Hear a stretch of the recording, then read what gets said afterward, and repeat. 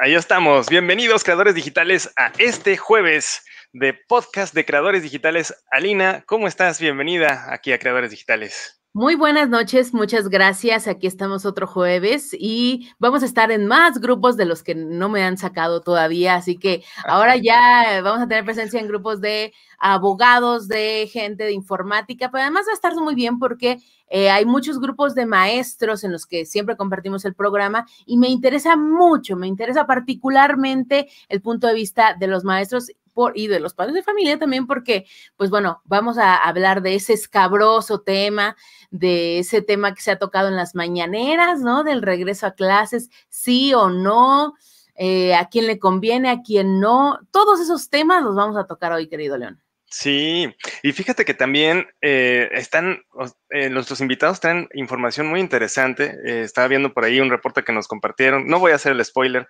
pero ah, Fíjate que lo que, lo que también me interesaría tocar, y, voy a dejar la pregunta así al aire y después cuando los presentemos ya podemos abordarlo un poco más, pero fíjate que se está hablando mucho en círculos por ahí en Internet acerca de que no existe una relación real entre la educación y el ingreso.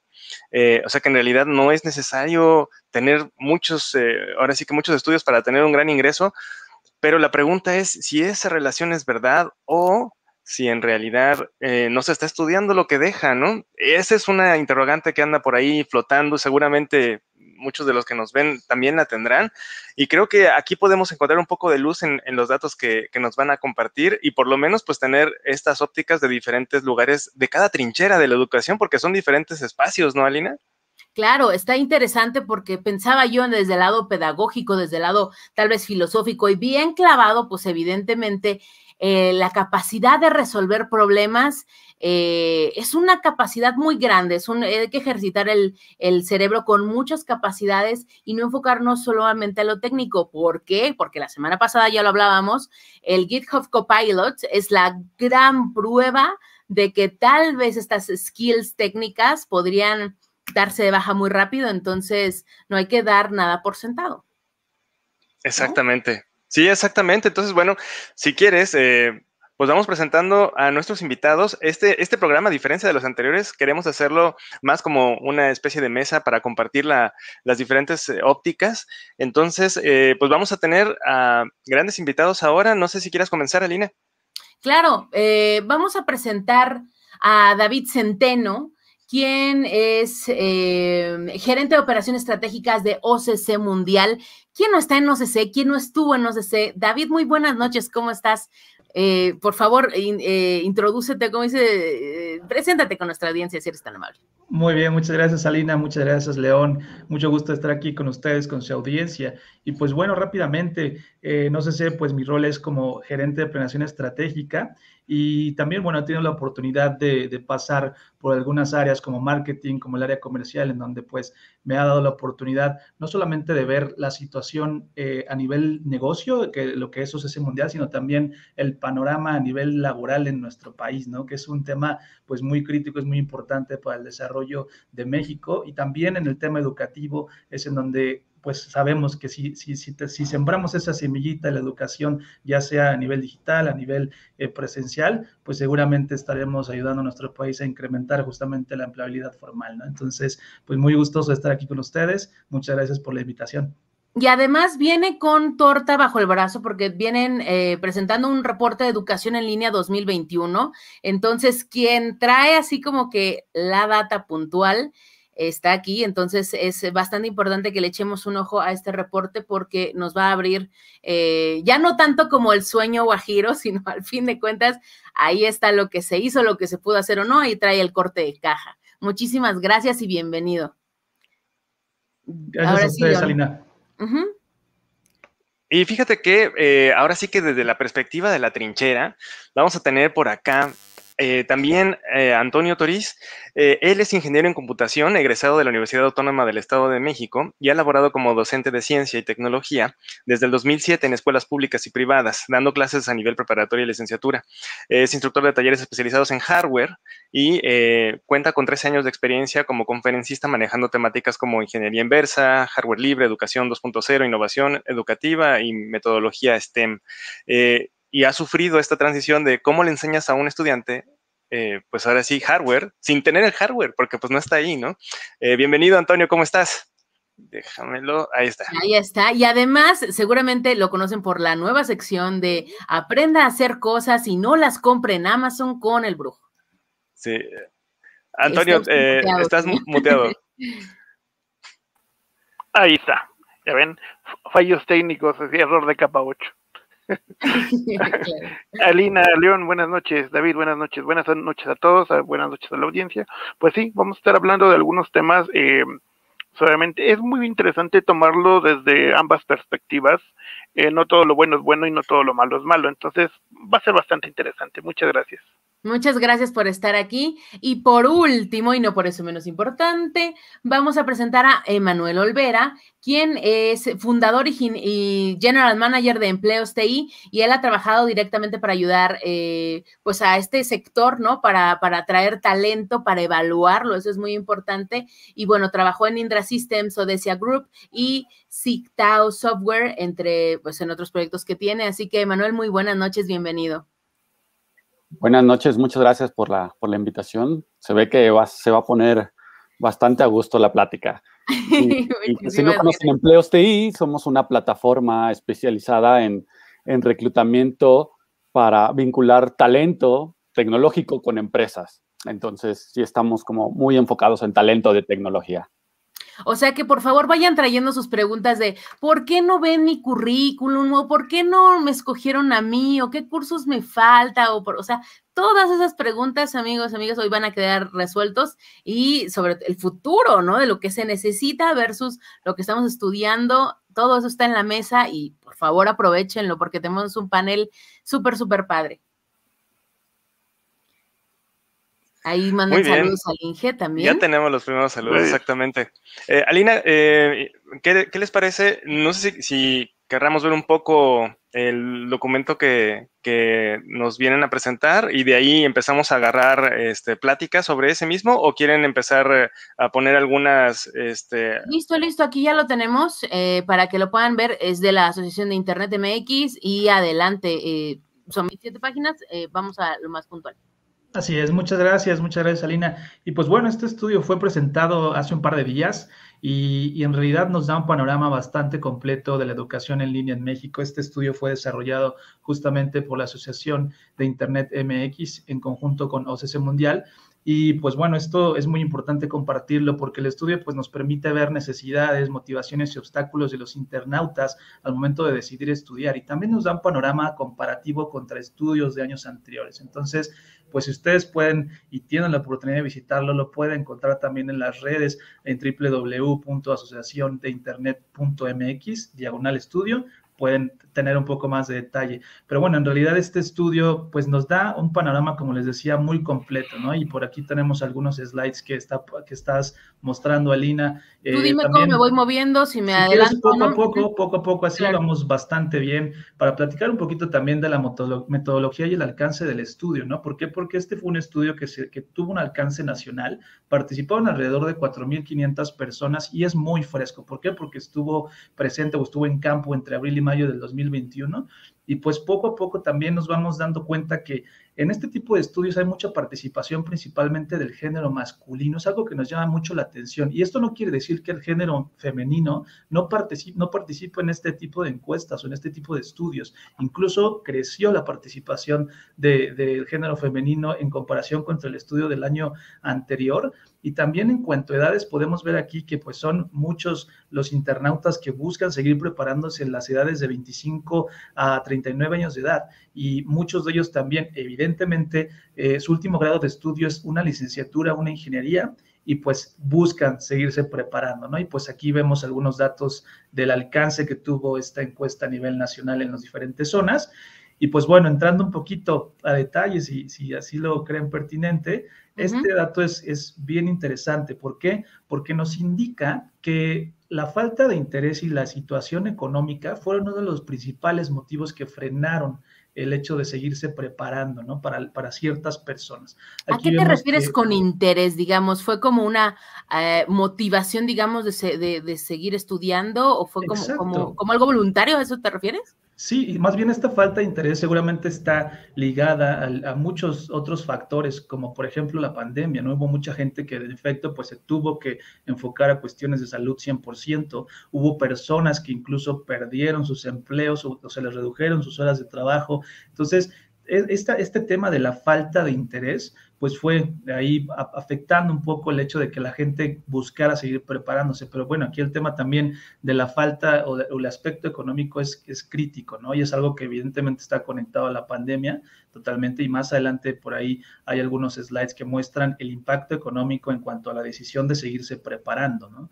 Y, y aquí un poquito más de detalles de, de, la, de, lo que nos deja la pandemia. ¿Por qué? Porque notábamos en este estudio que incrementó el número de personas que respondían a esta encuesta y reportaban no tener un empleo y que lo estaban buscando activamente. Entonces, evidentemente esto tiene correlación con la parte de la pandemia, pero muchos también de ellos que, que, que están empleados y que lo vemos en la parte superior aquí de estos gráficos el 46%, si no me equivoco, de ellos reportaban que tienen un empleo y muchos de ellos tienen un salario muy similar a lo que reporta INEGI. Entonces, tenemos una muestra bastante, bastante eh, llamativa y muy, muy homologada a lo que presentan muchos otros reportes de, de INEGI, muchos otros reportes de, de, diferentes asociaciones que se enfocan justamente a, a, analizar un poco más sobre la educación en línea, ¿no? Y si vamos un poquito más adelante, este dato también es muy llamativo, ¿no? Incluso seguramente por ahí algunas personas de la auditoría han estado viendo algunas notas refiriéndose a este tema. El, el 37% de las personas que respondieron a esta encuesta están estudiando actualmente y ese porcentaje incrementó en comparación al estudio del año pasado. Hace un momento mencionábamos que los motivos por los cuales las, las, personas habían decidido no estudiar era por falta de interés y también por el aspecto económico. Sin embargo, aquí estamos hablando de las personas que actualmente están estudiando, que decidieron empezar una vez ya iniciada la pandemia. Y aquí es en donde empiezan a verse algunos detalles bastante interesantes, porque algunas cuestiones que nos arrojó el estudio es que a pesar de que la gente perdió un empleo durante la pandemia o se le redujeron las horas laborales y por ello también se redujo su salario, ellos decidieron seguirse preparando. Entonces esto es, es muy bueno. ¿Por qué? Porque esto abre muchas, muchas posibilidades para todos los profesionistas, pero también abre muchas posibilidades, no solamente en el campo de la modalidad presencial para seguirse preparando, sino también de las modalidades en línea y mixtas, ¿no? ¿Cuáles son los principales obstáculos, ¿no? ¿Qué, perdón, los principales objetivos que buscan al, seguir con los estudios, a seguir preparándose? Principalmente uno es el tema de seguir incrementando conocimientos. Y esto está muy ligado a la parte tecnológica, ¿no? Y tal vez profundizaremos un poco más adelante, pero hay mucha gente que hoy en día está muy interesada en seguirse preparando en ramas diferentes a las que inició estudiando. Y te voy a dar un ejemplo muy claro. Gente que hoy en día está eh, en el área de ventas o en el área de atención a clientes, por ejemplo, buscan seguirse preparando en aspectos como, por, como, como crear código. ¿No? Esto es algo que, que está, está, está, teniendo un boom muy grande y también ayuda a diversificar conocimientos de las personas. Otro gran eh, objetivo que buscan es un nuevo trabajo, ¿no? Ese es un, un, nuevo trabajo en una nueva empresa, es también un aspecto que están buscando y el sueldo. Pero aquí quiero hacer un hincapié muy rápido en el tema de trabajar en una empresa transnacional. La pandemia nos ha abierto también esos canales. Hoy mucha gente está abierta a la movilidad, puede quiere y busca trabajar en una empresa que no está basada en su propia o en su propio país. Entonces, esto también ha, incrementado, ¿no? Y por eso también la gente se está buscando preparar para poder encontrar ese trabajo en una empresa transnacional. ¿Y qué Oye, David, eh, perdón, León. perdona que te interrumpa. Eh, fíjate que hace, hace unos segunditos acabas de decir que eh, había este, pues este cambio, esta, esta migración de, de un, una disciplina a otra, ¿no? Eh, empezaste siendo, eh, no sé, de un tronco y pasas a otra, otra área completamente diferente de conocimiento. Y esto obedece a la demanda eh, tal cual del mercado, creo, creo yo. en, en, este sentido, se ha detectado que específicamente la parte tecnológica es una de las que está demandando más, este, más capital. Y esta pregunta también la dejo abierta para, para Emanuel, que nos está, nos está acompañando por acá con nosotros. Sí, sí, y, creo que Emanuel también tendrá un panorama ahí bastante amplio, pero en efecto, eh, está llamando mucho la atención que la gente busca prepararse en, ámbitos que tienen que ver con la tecnología. Y, y, no me dejarán mentir, ustedes son expertos en el tema, pero por ahí ya hay algunas plataformas que te permiten crear códigos y ser experto en código, incluso con la ayuda de inteligencia artificial, ¿no? Temas de machine learning. Entonces, muchas de estas cuestiones eh, relacionadas a la tecnología incluso están abiertos o están empezando a abrir las puertas a gente que, no tiene una base tecnológica y eso pues es, muy positivo, ¿no? Entonces sí estamos notando ahí que hay un gran interés principalmente hacia la rama tecnológica para seguirse preparando independientemente de que tu, tus, tus, estudios base no tengan que ver con, con la rama tecnológica, ¿no? Sí, pues yo aportando a, este tema, justamente la, demanda de este tipo de perfiles tecnológicos ha crecido. Eh, el COVID obviamente fue un aliciente, lo estamos viendo en el e-commerce, creo que es la, el ejemplo más grande, que pues ya no compras físicamente, sino ya todo es, es online, entonces ya hay muchos comentarios ahí que se ha acelerado drásticamente por el, por el tema de COVID y, y eso hace que la demanda también de estos perfiles tecnológicos pues se incremente. Nosotros, eh, comparando eh, el número de vacantes que teníamos el año pasado, cerrándolo al, semestre, por así decirlo, fue un 70% más este año. Entonces, sí, el, los, estos tipos de perfiles de ciberseguridad, de datos, eh, marketing digital son altamente demandados en este momento por las, por las compañías. Entonces, sí, sí coincido completamente con, con esto.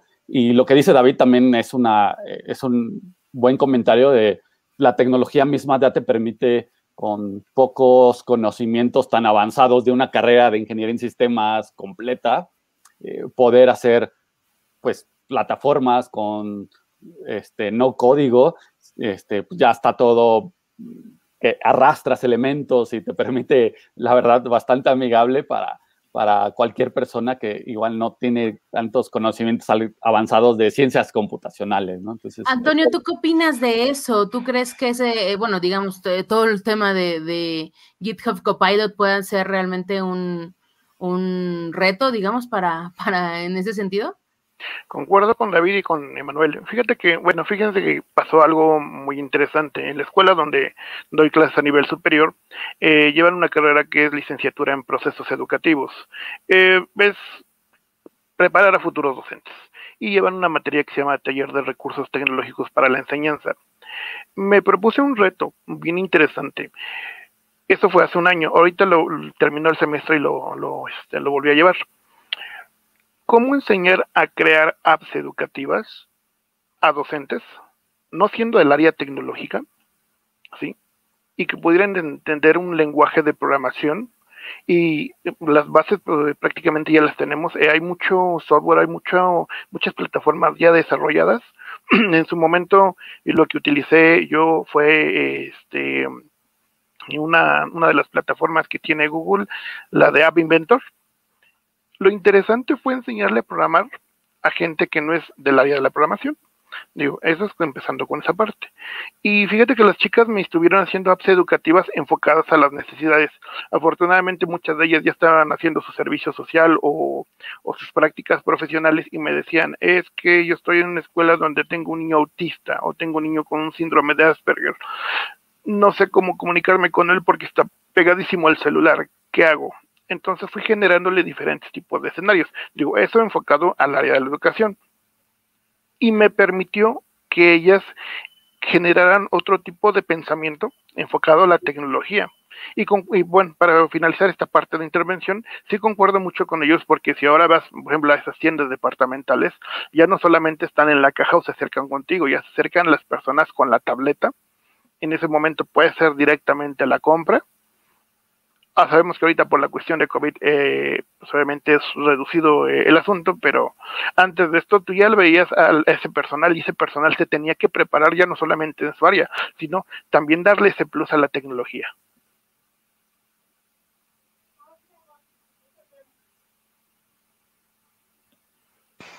Perdón, tenemos aquí ya este, comentarios de, de quienes nos están viendo. Dice Nuri Cobos, ¿cuáles serían las top skills tecnológicas que aumentan la, la, competitividad laboral? ¿En qué podríamos prepararnos quizás no para cambiar de área, sino para ser más atractivos para las empresas? Y esta pregunta la quiero, la quisiera pegar eh, con, con, otra, eh, David. Si hay áreas que están ganando eh, pues ahora sí que demanda de estudio, como son las de TI, pues debe de haber también áreas que están perdiendo demanda. ¿Tienen alguna idea de qué está pasando con esas áreas? ¿Cuáles son?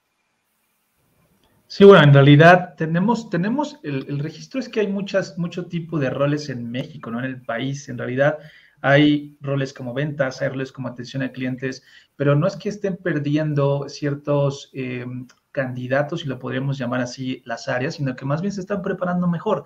Y en donde sí está viendo, donde sí está, sí está existiendo una transición, principalmente es en las áreas administrativas. Por ejemplo, el área administrativa es una de las áreas que estamos notando que están empezando a prepararse mucho más y entonces migran del área administrativa, por ejemplo, a un, a un, área en donde más bien su rol es más tecnológico, ¿no?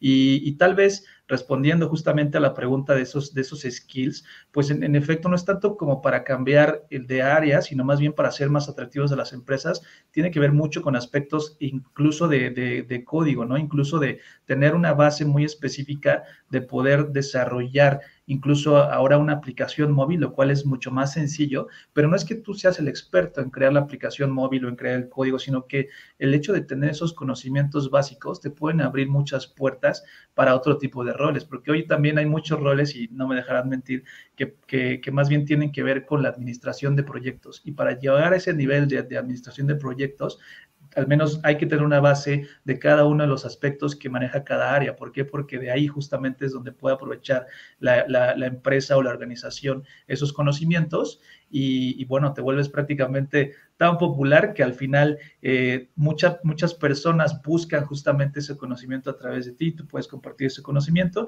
y bueno, esto se va a hacer una, una bola de nieve, ¿no? En cuanto al hecho de, de, seguir avanzando en la educación eh, tecnológica, no solamente en la educación tecnológica, sino en muchos otros ámbitos. Pero bueno, eso concretamente respondiendo a la pregunta, ¿no?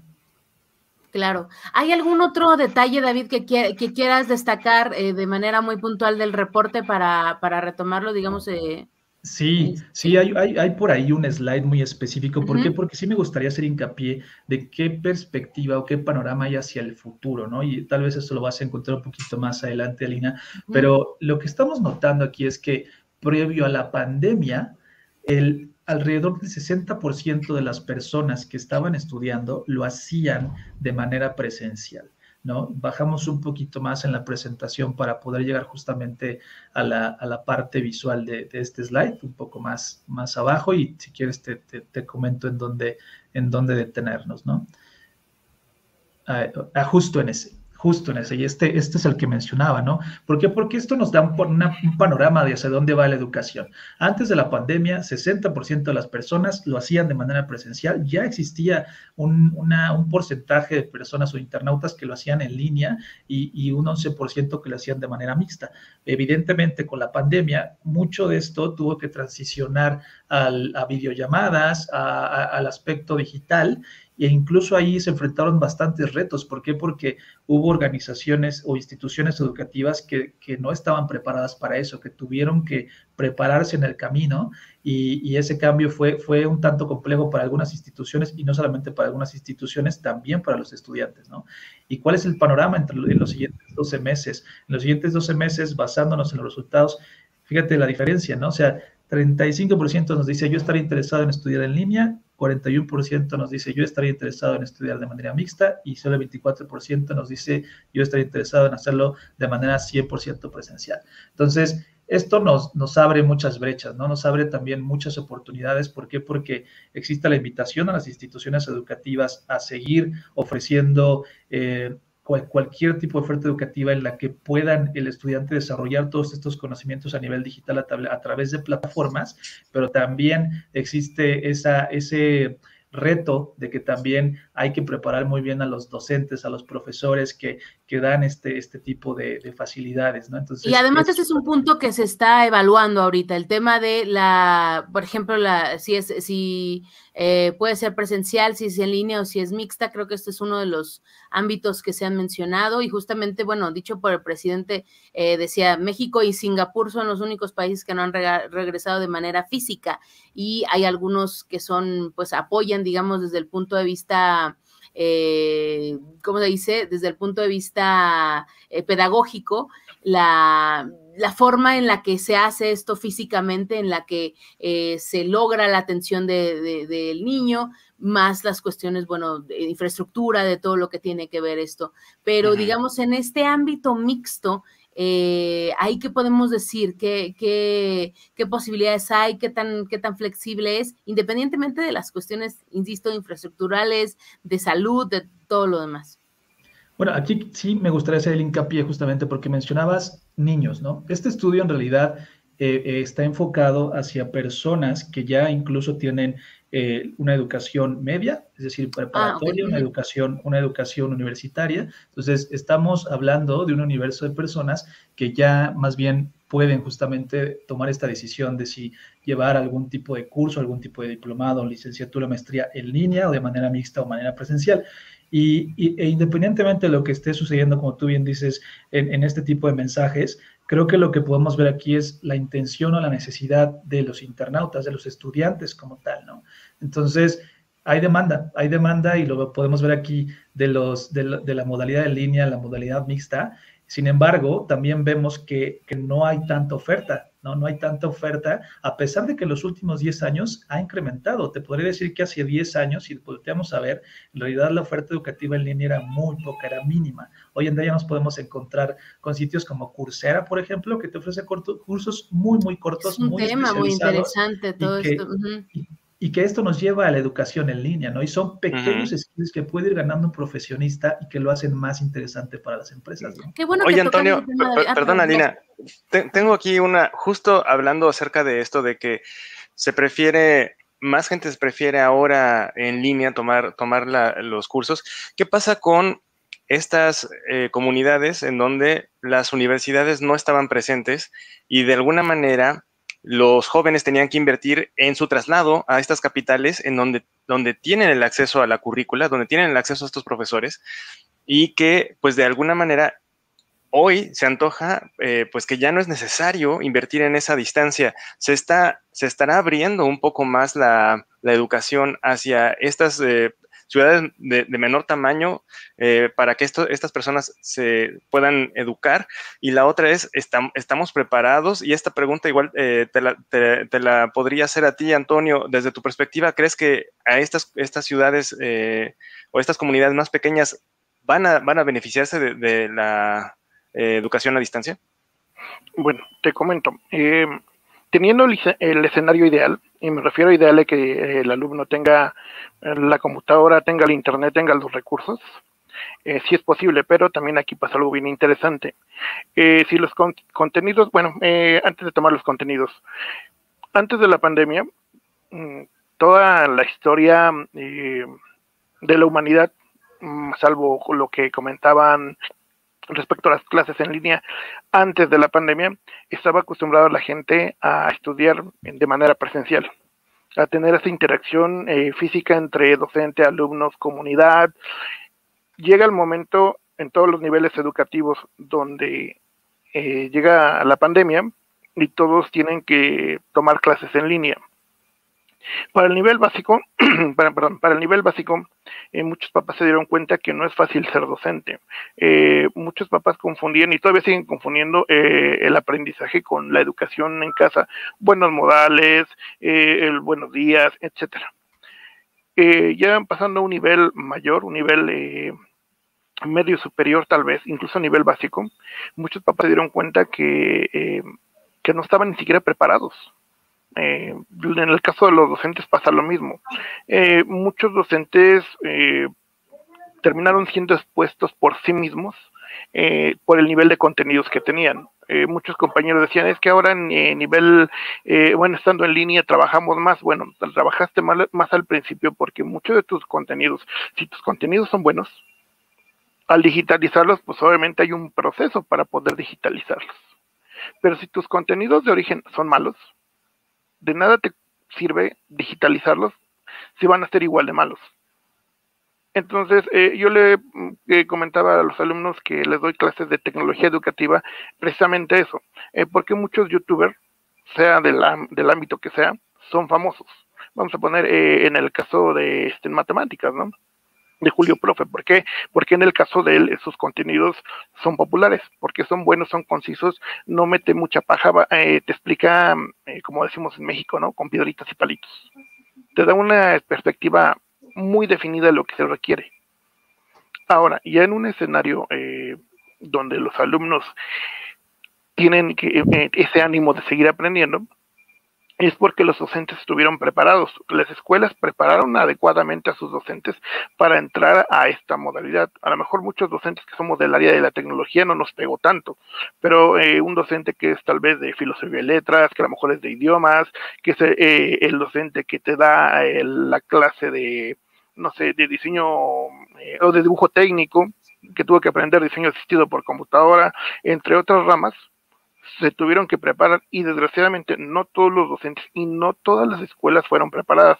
En la mañana veía un, eh, un artículo por un periódico de aquí de Puebla, que es donde estoy residiendo actualmente, donde decía, siete de cada diez alumnos desean regresar a clases. Y yo le decía, no, siete de cada diez docentes no se prepararon y en consecuencia las escuelas no prepararon a sus docentes para esta modalidad y todavía seguimos teniendo ese problema, independientemente de que existen otros escenarios economía, muchos papás se quedan sin trabajo, eh, muchos alumnos eh, se quedan sin internet, eh, las computadoras se fueron por los cielos. Bueno, son escenarios diversos, pero en, en, un panorama volviendo a ideal, pues sí, hay gente que está interesada siempre y cuando estos contenidos dejen obviamente este conocimiento. Hay áreas que definitivamente no es posible, por ejemplo en el área de la salud. por mucho que se tenga un, eh, simulador virtual de cómo inyectar o cómo meter una aguja vía intravenosa, no es lo mismo. Ni te Definitivamente. lo estamos viendo en la, en la vacuna, ¿eh? Lo estamos viendo que, que, ahí faltó, ¿Sí? faltó Sí, entonces definitivamente hay, áreas que, que no, no, se prestan, incluso en el área laboral lo sabemos, hay áreas, laborales que afortunadamente eh, son eh, home office, son directamente en casa, pero hay áreas como, por ejemplo, las personas que se dedican al área de recoger la, colecta de basura, eh, gente que tiene que estar en el área de este, en subestaciones eléctricas o en alguna otra área donde sí es necesario estar presencialmente las personas, ¿no? Entonces también va muy enfocado a, la materia. Adelante, perdón, León. No, no, está bien. Eh, justo acabas de decir algo interesante, Antonio, y creo que eh, también está ligada con esta, esta participación, esta pregunta que nos hace Manuel Flores. Eh, y está ligada con las empresas, como lo dices, empresas que no están preparadas. Y aquí me gustaría, Emanuel, tu perspectiva acerca de, este, de este comentario. Dice, la educación mediante MOOCs y cursos en plataformas como Udemy y otras ya es algo válido para las empresas en México contra los diplomas de instituciones establecidas, es decir, una carrera formal versus esta capacitación técnica eh, que se hace eh, ahora sí que invirtiendo en otro tipo de, escuelas o de, lugares en línea, o sigue siendo un estándar solo para los que quieren trabajar fuera de México, o sea, para otras empresas que ya están aceptando estos diplomas. ¿Cómo has visto eh, el, entorno laboral acá? En el tema de em, vacantes en tecnología o la demanda de talento tecnológico, la mayoría de las vacantes todavía creo que sigue la cultura donde vemos en la descripción necesitamos ingeniero en sistemas, licenciatura, la mayoría sí tiene eso, pero cada vez escucho más casos donde mm, no puede ser que esté trunco y se especializó con algún bootcamp o algunos de estas plataformas que, bien mencionan eh, y, ya están trabajando y no han sido tan, em, o sea, cada vez hay más empresas abiertas a, a ver si una persona es buena y es muy talentosa, aunque no tenga el certificado o el título. Entonces, sí, cada vez me encuentro más casos. Personas muy buenas que tal vez tienen trunco y tomaron alguna especialidad, como eh, también creo que los bootcamps han hecho una, labor en México cada vez veo más y eso permite como eh, pues hacer transiciones, ¿no? Tecnologías de alta demanda, entonces tal vez yo estudié, no sé, diseño, estudié alguna psicología, también he visto que trabajan en, no sé, frontend, que no es tan, tan hard en el tema de eh, ciencias o eh, matemáticas, ¿no? pero sí, creo que cada vez es más frecuente, o sea, antes lo veíamos que solamente en otros países, pero aquí me encuentro cada vez más este tipo de, casos. Que no Vamos con Antonio Toriz, que, que tenía también un comentario. Ok, bueno, eh, aquí creo que ha sido una controversia de los últimos 10 años, eh, precisamente en el área de TI. En algunos amigos y, yo platicando, ellos más en el área de la tecnología y, yo más en los últimos años en el área de la educación, eh, cuestionábamos precisamente eso. Si tú eres alguien que tiene una carrera trunca y pues tienes estos diplomados, estos, estas áreas de especialización y te dan el trabajo, hay ocasiones que gana mucho más que alguien que está titulado, ¿ok? Hay, hay ciertos escenarios. Ahora, el escenario es, ¿y si es un niño de 10 años que, por ejemplo, se toma todas las certificaciones Cisco, ¿le vas a dar el empleo? O, cómo estaría enfocado este escenario, porque llega mucho esta controversia, ¿no? Y creo que tanto David y Manuel estarán de acuerdo que a veces se llega a este, este choque, ¿no? ¿Le van a dar el empleo? A ver, David, ¿tú sí se lo darías? No, más bien quiero que sí, creo que coincido con Antonio. ¿Por qué? Porque creo que aquí el mensaje es eh, nunca debemos de dejar de prepararnos, ¿no? Sabemos que si la, preparación es, es, muy importante y creo que siempre, siempre debe existir una base. Entonces, el hecho de tener estos conocimientos a través de MOOCs, a través de cursos cortos, en realidad te van a dar muy buenos skills, te van a permitir desarrollar muchas habilidades, pero lo que, lo que sí tal vez eh, eh, podemos dejar como mensajes, no podemos, no podemos dejar de lado la educación base, ¿no? Que es lo que va a permitir justamente eh, una vez que tú llegas al ámbito laboral, entonces poder empezar a conocer lo que realmente hay eh, en la vida diaria, ¿no? En lo que puedes desarrollar. Pero entonces yo creo que, que, en efecto, creo que los MOOCs, los cursos cortos, sí cada vez tienen a lo mejor un mayor valor en las empresas. Sin embargo, no es que porque solamente tengas un MOOC, no es, no es que porque solamente tengas un diplomado, la empresa te va a contratar, sino que se va, va a voltear a ver si realmente tienes bases que te permitan desarrollar mucho mejor ese empleo, ¿no? O esas actividades que tú vas a tener tener a cargo. ¿Sabes qué, David? Hoy justamente vi en LinkedIn el hashtag y los, los invito a seguirlo, esto de no certification needed. Eh, no sé, eh, esto hablaba para una cuestión de agile, de, manejo de, proyectos. Em, y, y, de alguna manera es a veces tanta la desesperación del reclutador, de lo, a lo que se enfrenta, que eh, pues eh, tenemos como dos caminos, ahorita que estaba hablando de Manuel, o el reclutador que te pide así el examen súper perro, que tienes que súper estudiar y que casi casi les está resolviendo un problema de la chamba, versus el que este, dice, órale, ya pásale, no importa, ahorita aprendes y bye, pero la verdad es que luego no nos capacitan. Eh, para lo que se necesita. Es como de, pues ahí resuélvelo y ahí vas viendo y uno se va tropezando, ¿no? Eh, ¿Cómo ven esos dos panoramas? Porque la verdad es que sí, ya hemos hablado en un sinnúmero de veces aquí que la demanda supera por mucho a la capacitación, pero hoy sí me, sorprendió, ¿eh? Y era un banco. Yo no quiero decir qué banco, pero sigan ese hashtag y darán con él, pero es no certification needed y ahí se está también reclutando. Así que, ¿ustedes qué opinan?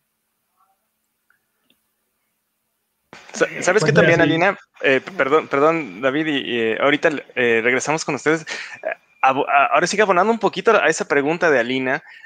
también hay muchos padres de familia que están preocupados porque sus hijos están perdiendo algunos años, porque no saben si es momento de dejarlos regresar, si no, y entonces están realmente preocupados con esta idea de que se están perdiendo de algo y se están atrasando, ¿no? Vamos a ponerlo entre comillas, porque entonces se está dejando de lado esta eh, educación formal de alguna manera.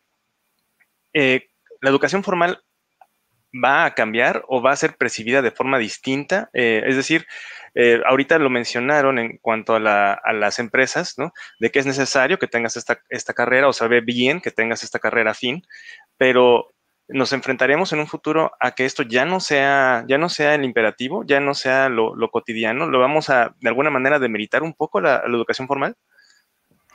Bueno, pues León, adelante, David, adelante, adelante, adelante. Es que gracias, Antonio. Es que es un tema. Así como le hacemos con Antonio, así yo vamos viendo.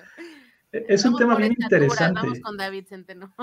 Gracias, Alina. Es que es un tema bien interesante. ¿Por qué? Porque hablabas justamente del tema de no certification needed.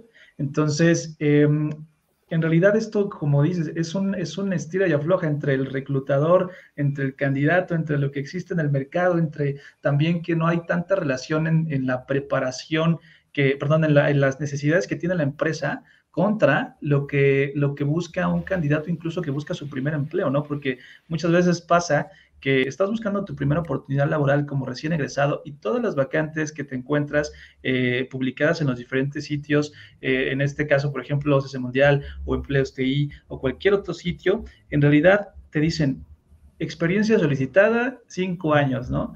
En algún punto en específico. Entonces, es bien complicado. Y por otro lado, hay muchas empresas que dicen, bueno, yo necesito reclutar. El reclutador tiene una presión de su trabajo, de su rol. Entonces, muchas veces hacen este tipo de prácticas y en realidad quien se ve perjudicado ahí es la organización. ¿Por qué? Porque nos, podemos meter a hablar de temas de índices de, índices de rotación, ¿no? Entonces, hay empresas que tienen índices de rotación muy alta y en realidad nunca, nunca logran desarrollar eh, a su gente, nunca logran realmente una estabilidad en cuanto a la operación de la empresa y, eso, bueno, muchas veces desemboca en, el consumidor, en el cliente, ¿no? Entonces, creo que, creo que es, es bien interesante cómo reclutan algunas empresas, cómo reclutan algunas otras empresas, se fijan, se fijan mucho en el tema tal vez del employer branding. El employer branding es otro tema muy importante, pero bueno, creo que aquí es, es, es, este tema crítico, ¿no? Y, referente a lo que, a lo que mencionaba eh, León, creo que también es un tema muy crítico, ¿no? Pero creo que para no, para no robar tanto tiempo, creo, creo que aquí Antonio también tenía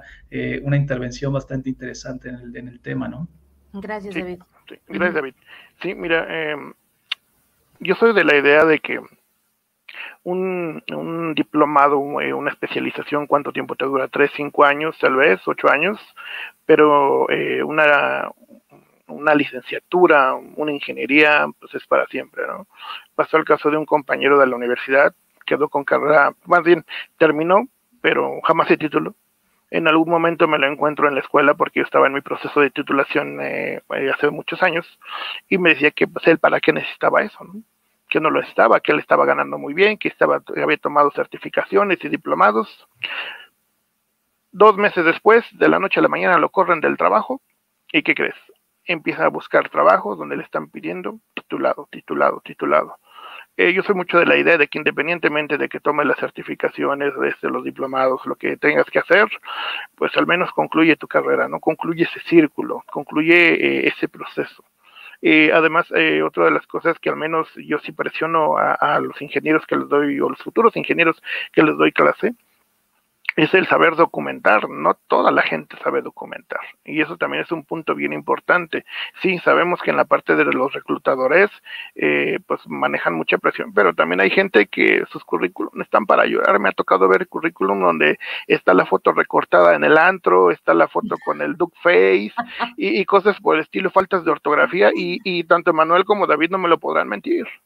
Qué padre. Oye, este, perdóname, no, necesito hacer una pausa, pero a ver, Emanuel, ¿tú quieres agregar algo más? Sí, este, la verdad yo creo que no están peleadas, yendo a la pregunta de León, una carrera con una especialización, con este, una, pues un diplomado, una certificación, me parece que no, no están peleadas. Yo más bien veo que se complementan. Para mí lo ideal es que, como decía David, lo mencionó, una carrera te da muy buenas bases, también no vas a salir con la super especialidad en el lenguaje que quiere la empresa, porque su trabajo es formarte este, de manera general en bases de datos, en, infraestructura, en programación, sí, pero creo que se complementan desde mi punto de vista en, eso.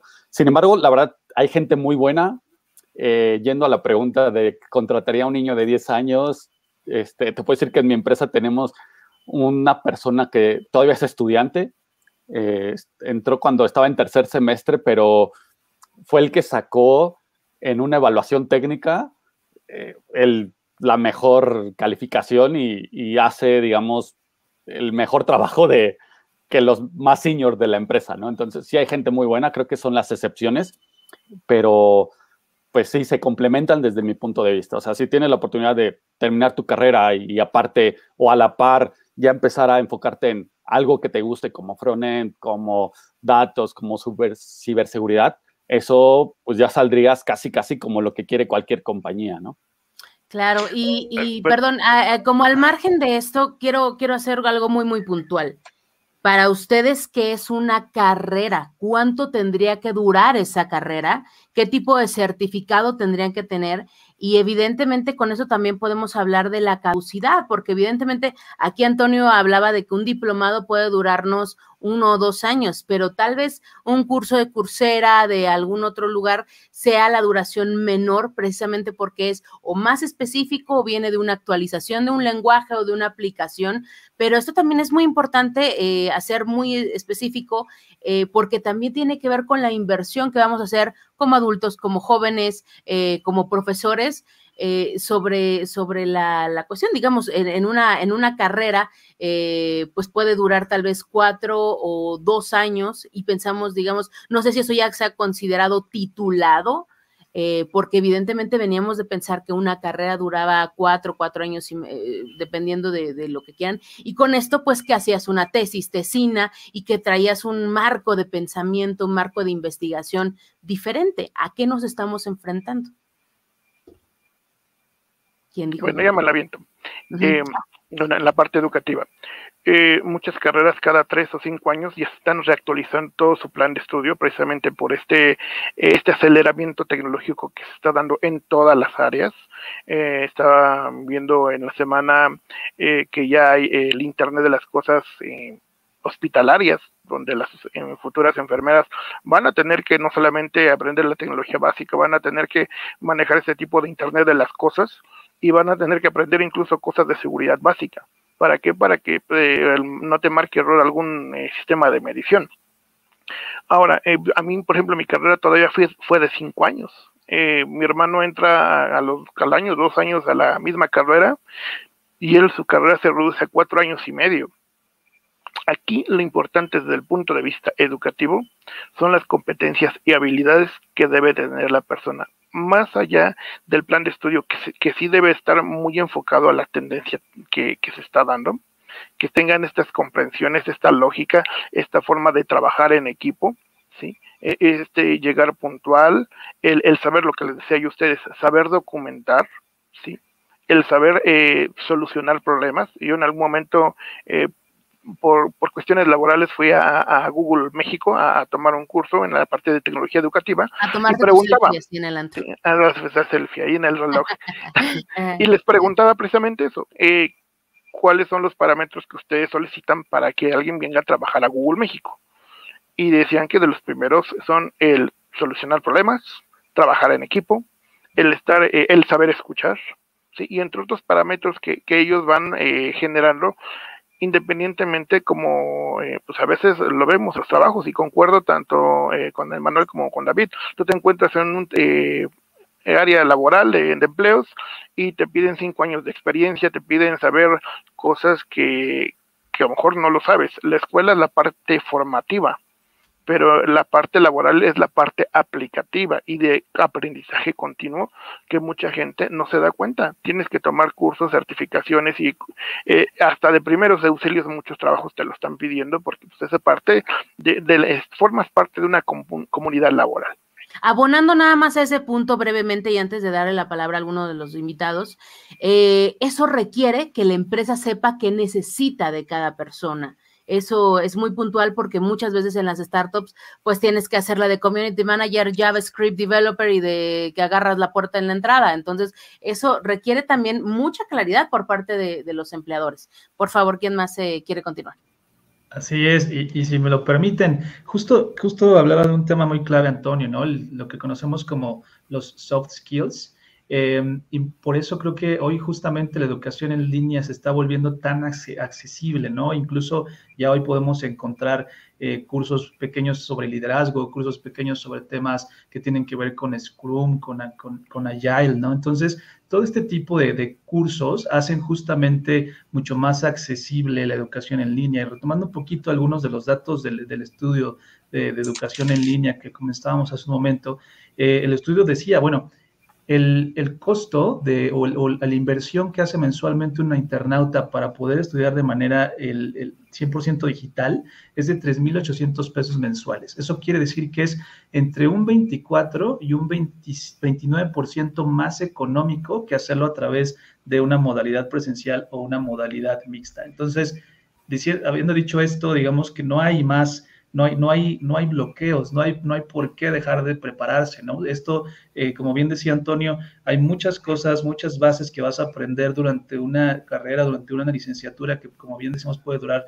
tres, puede durar cuatro años y medio, puede durar cinco años, pero mucho de lo que vas a aprender va a ser eh, realmente ya en el día a día laboral, ¿no? Y mucho también a través de estos cursos, de estos diplomados que se ofrecen en línea y que hoy en día son mucho más accesibles que, tal vez al compararlo contra la educación presencial y la educación mixta, ¿no? Claro. Está. Y. Eh, perdón. Eh, fui yo.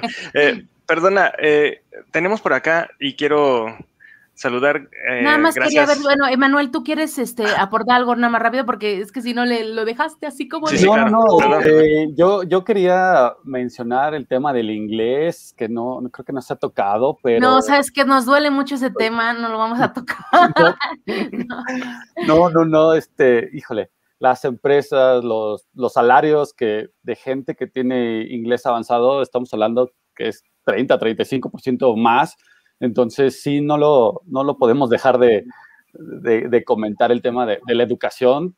Obviamente, eh, estar tan cerca de Estados Unidos, nuestro vecino, eh, en el tema de tecnología mucho más, pues es el, el país que más desarrolla tecnológico, eh, tecnológicamente, todas las startups de primer mundo están allá. Entonces, muchas empresas en México trabajan dando servicio para ellos. Entonces, sí, eh, adicional a lo que dijimos de sí, la carrera, sí, especialízate, híjole, dedícale eh, el inglés de favor, sí.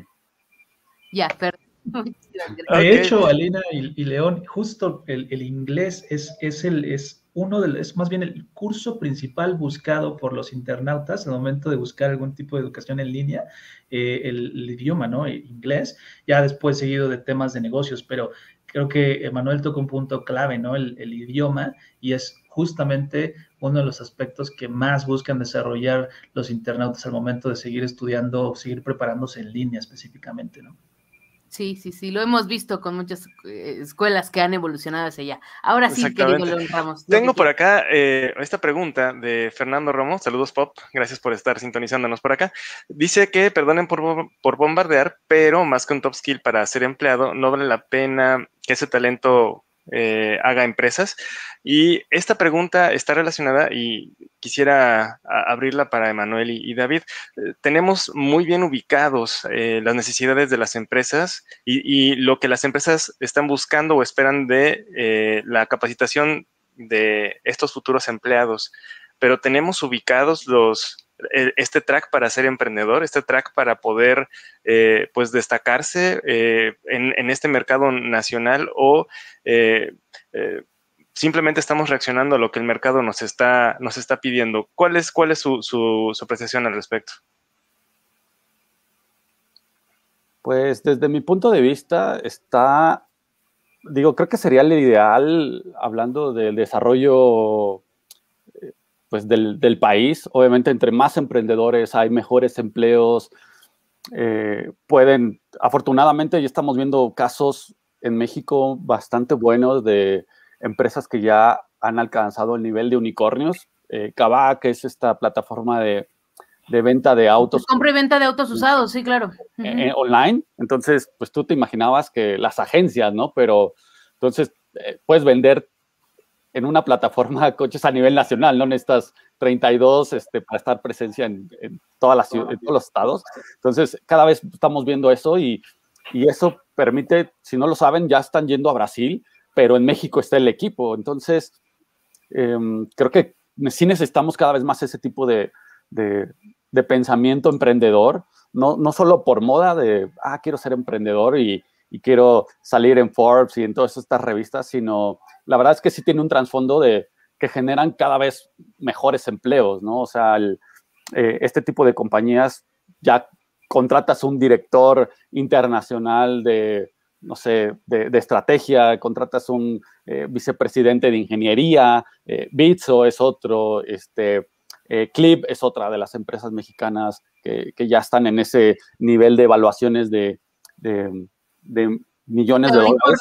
Exactamente. Entonces, creo que sí vale la pena el, pues que empecemos a cambiar eso, ¿no? Porque ser empleado a ser emprendedor y no es fácil. Digo, en mi caso, que soy fundador de Empleos TI, pues tienes miles de problemas, el 80% de las empresas Eso Eso es lo que te iba a decir, Manuel. Dos años. Es este, como aprender a andar en bici. Yo no sé andar en bici, pero, o sea, las primeras veces que empiezas, pues te caes, eh, caes en, bancarrota. Es decir, no es algo que pueda pasar muy, eh, eh, requiere mucho esfuerzo, requiere una gran capacitación, requiere una gran administración en temas financieros. Y ahora la, la generación Z, todos quieren ser emprendedores y me parece algo fabuloso, pero creo que por, por em, eh, no sé, por selección natural, no todo, hay gente que tiene que liderar y hay otros que tienen que seguir y complementar, ¿no? Pero creo que ese, ese sueño, si es posible que todos seamos emprendedores, ¿cómo, cómo lo ven, David, Antonio? Ahí está tu dedo, Antonio. Bueno, es que aquí hay un problema. Mucha de esa gente, en las nuevas generaciones, cree que ser un empresario es al mes pongo mi negocio y ya me doy la gran vida. Y soy mi propio jefe y estoy en pijama todo el día. Estoy en pijama. O sea, eh, hay gente que pone un negocio y a lo mejor en una, si estás en un excelente lugar, a lo mejor hasta un, en un año vas a empezar a ver ganancias porque primero es el pagadero muchas veces, es los compromisos y eso, y quién sabe. Yo le calculo más entre 5, 8 años tal vez, en que ya empieces a ver un rendimiento adecuado pero eres la persona que llega primero y que se va al último. Ahora, muchas de las eh, muchas de las creatividades que se tenían de manera eh, local, digámoslo así, eh, afortunadamente se han ido digitalizando, ¿sí? Y muchos de esos este, conocimientos se han ido dando a conocer gracias a, las tecnologías que se están generando. va a pasar, muchas empresas, son muchas empresas grandes, si no se autosuicidan, les va a pasar como en el caso de Kodak. Sabemos que Kodak ya se sentía como el omnipresente en cámaras digitales, ¿no? Y, empezaron a, dejar varias áreas de oportunidad. Eh, muchas microempresas o muchas, este, mucha gente creativa que está empezando a generar sus micronegocios, a lo mejor no van a despegar como una gigantesca empresa, pero van a generarse unas empresas como en el caso eh, de un eh, del zapatero de la esquina, la tiendita, el tamalero, las gelatinas, eh, a lo mejor no va a ser tan famoso el, negocio, pero ese negocio va a, ser lo suficientemente bueno para darle de comer a él y a otras personas más que van a estar trabajando junto con ellos. Y además yo creo que ha habido un repunte entre los zapateros, entre mucha gente que ahora este está pues rehabilitando la economía tal cual de pie y que, que también son profesiones que, ayudan mucho y que, que sirven, ¿no? David, ¿tú querías decir algo? ¿Querías aportar algo? Sí, Alina. De hecho, eh, bueno, el tema de, los roles relacionados a tecnología o las, vacantes relacionadas a tecnología, eh, podría, yo te podría contar que hace cinco años aproximadamente, en cuanto a categorías de empleo, por ejemplo, en OCC Mundial representaba la quinta categoría más buscada, ¿no? Y la quinta categoría que más empleos generaba, ¿no? Sin embargo, hoy en día es la tercera categoría que más empleos genera eh, después, de, después de administración y ventas. Entonces, sí está empezando a crecer la demanda, pero hay un reto que también estamos enfrentando en México respecto a los roles de tecnología y en específico en cuanto a, personas que están muy bien preparadas y que incluso podrían eh, emprender su, su propio negocio, su propia empresa. Y ese reto es que hay fuga de talento. Entonces, muchas empresas transnacionales, principalmente por la cercanía que tenemos con Estados Unidos, pues muchas de estas empresas reclutan a este talento y, vuelan, ¿no? Vuelan a, a, trabajar alguna empresa transnacional en Estados Unidos, se desarrollan y, eso, pues evidentemente después toma diferentes caminos, ¿no? Porque esa persona puede crecer mucho dentro de alguna empresa transnacional, pero también de pronto puede decidir emprender alguna empresa, ¿no? Y que esto se vuelva un unicornio. Pero es una de las cuestiones que estamos enfrentando a nivel tecnología. ¿Por qué? Porque existe justamente esa fuga de talentos y, y a pesar de que la demanda está creciendo, de que cada vez tenemos más gente preparada para roles tecnológicos, pues en realidad también tenemos ese, ese pequeño, pequeño reto de que se, se fuga ese talento, ¿no? Claro. Y yo creo que, bueno, hay que, hay que enfrentarnos también un poco a la realidad de mm, saber en qué invertir en, en educación. Me gustaría que dentro de este panel pudiéramos hacer una, una selección, ya dijimos del inglés, ¿no? Eh, por ahí decían, es que una certificación Cisco casi casi se paga sola. A mí hay gente que me ha dicho una certificación en, en la norma 27001 también se paga sola. O sea, eh, desde sus trincheras, digamos, eh, ¿qué sería lo más redituable a nivel, digamos, a nivel de, de resolución de, de problemas de lo que se está necesitando? Y pues sí, si, ustedes se, estuvieran enfrentando a esta búsqueda de trabajo, a esta educación, ¿en qué invertirían ahorita? Pues mira, si, si me lo permite, Salina, eh, ¿qué nos ha dejado la pandemia? ¿no? Y, me, retomo este tema, ¿por qué? Porque justamente ahora estamos viendo eh, poco a poco que hay ciertos sectores que están retomando, están recuperando y, justamente han crecido esos roles eh, relacionados específicamente a las áreas de ingeniería y manufactura. Entonces, eh, todos estos roles o, ramas que nos llevan a aspectos como de manufactura y procesos, ingenierías industriales, ingenierías en administración industrial, que más bien toca temas un poco más específicos, ingeniería civil, ingeniería en logística y transporte, son cuestiones que han tenido un incremento muy, muy grande, ¿no? Y en específico, hablando de ingenierías en logística y transporte, hace un momento, eh, si no mal recuerdo, Manuel mencionó el tema de e-commerce este, este boom que generó e-commerce también afectó de manera positiva a otras categorías como este aspecto logística y transporte, ¿no? Entonces... Desde cadena eh, de suministro hasta montar eh, Shopify y tiendas, que esto, bueno, ligado a Facebook eh, Shops, Facebook Pay y WhatsApp Pay, es una cosa tan básica y tan que apoya tanto la microeconomía que, que está de locura, digamos. Eh, y sí, sí, sí, o sea, en, general también de transportación, este, todo, todo eso está muy ligado a, eso.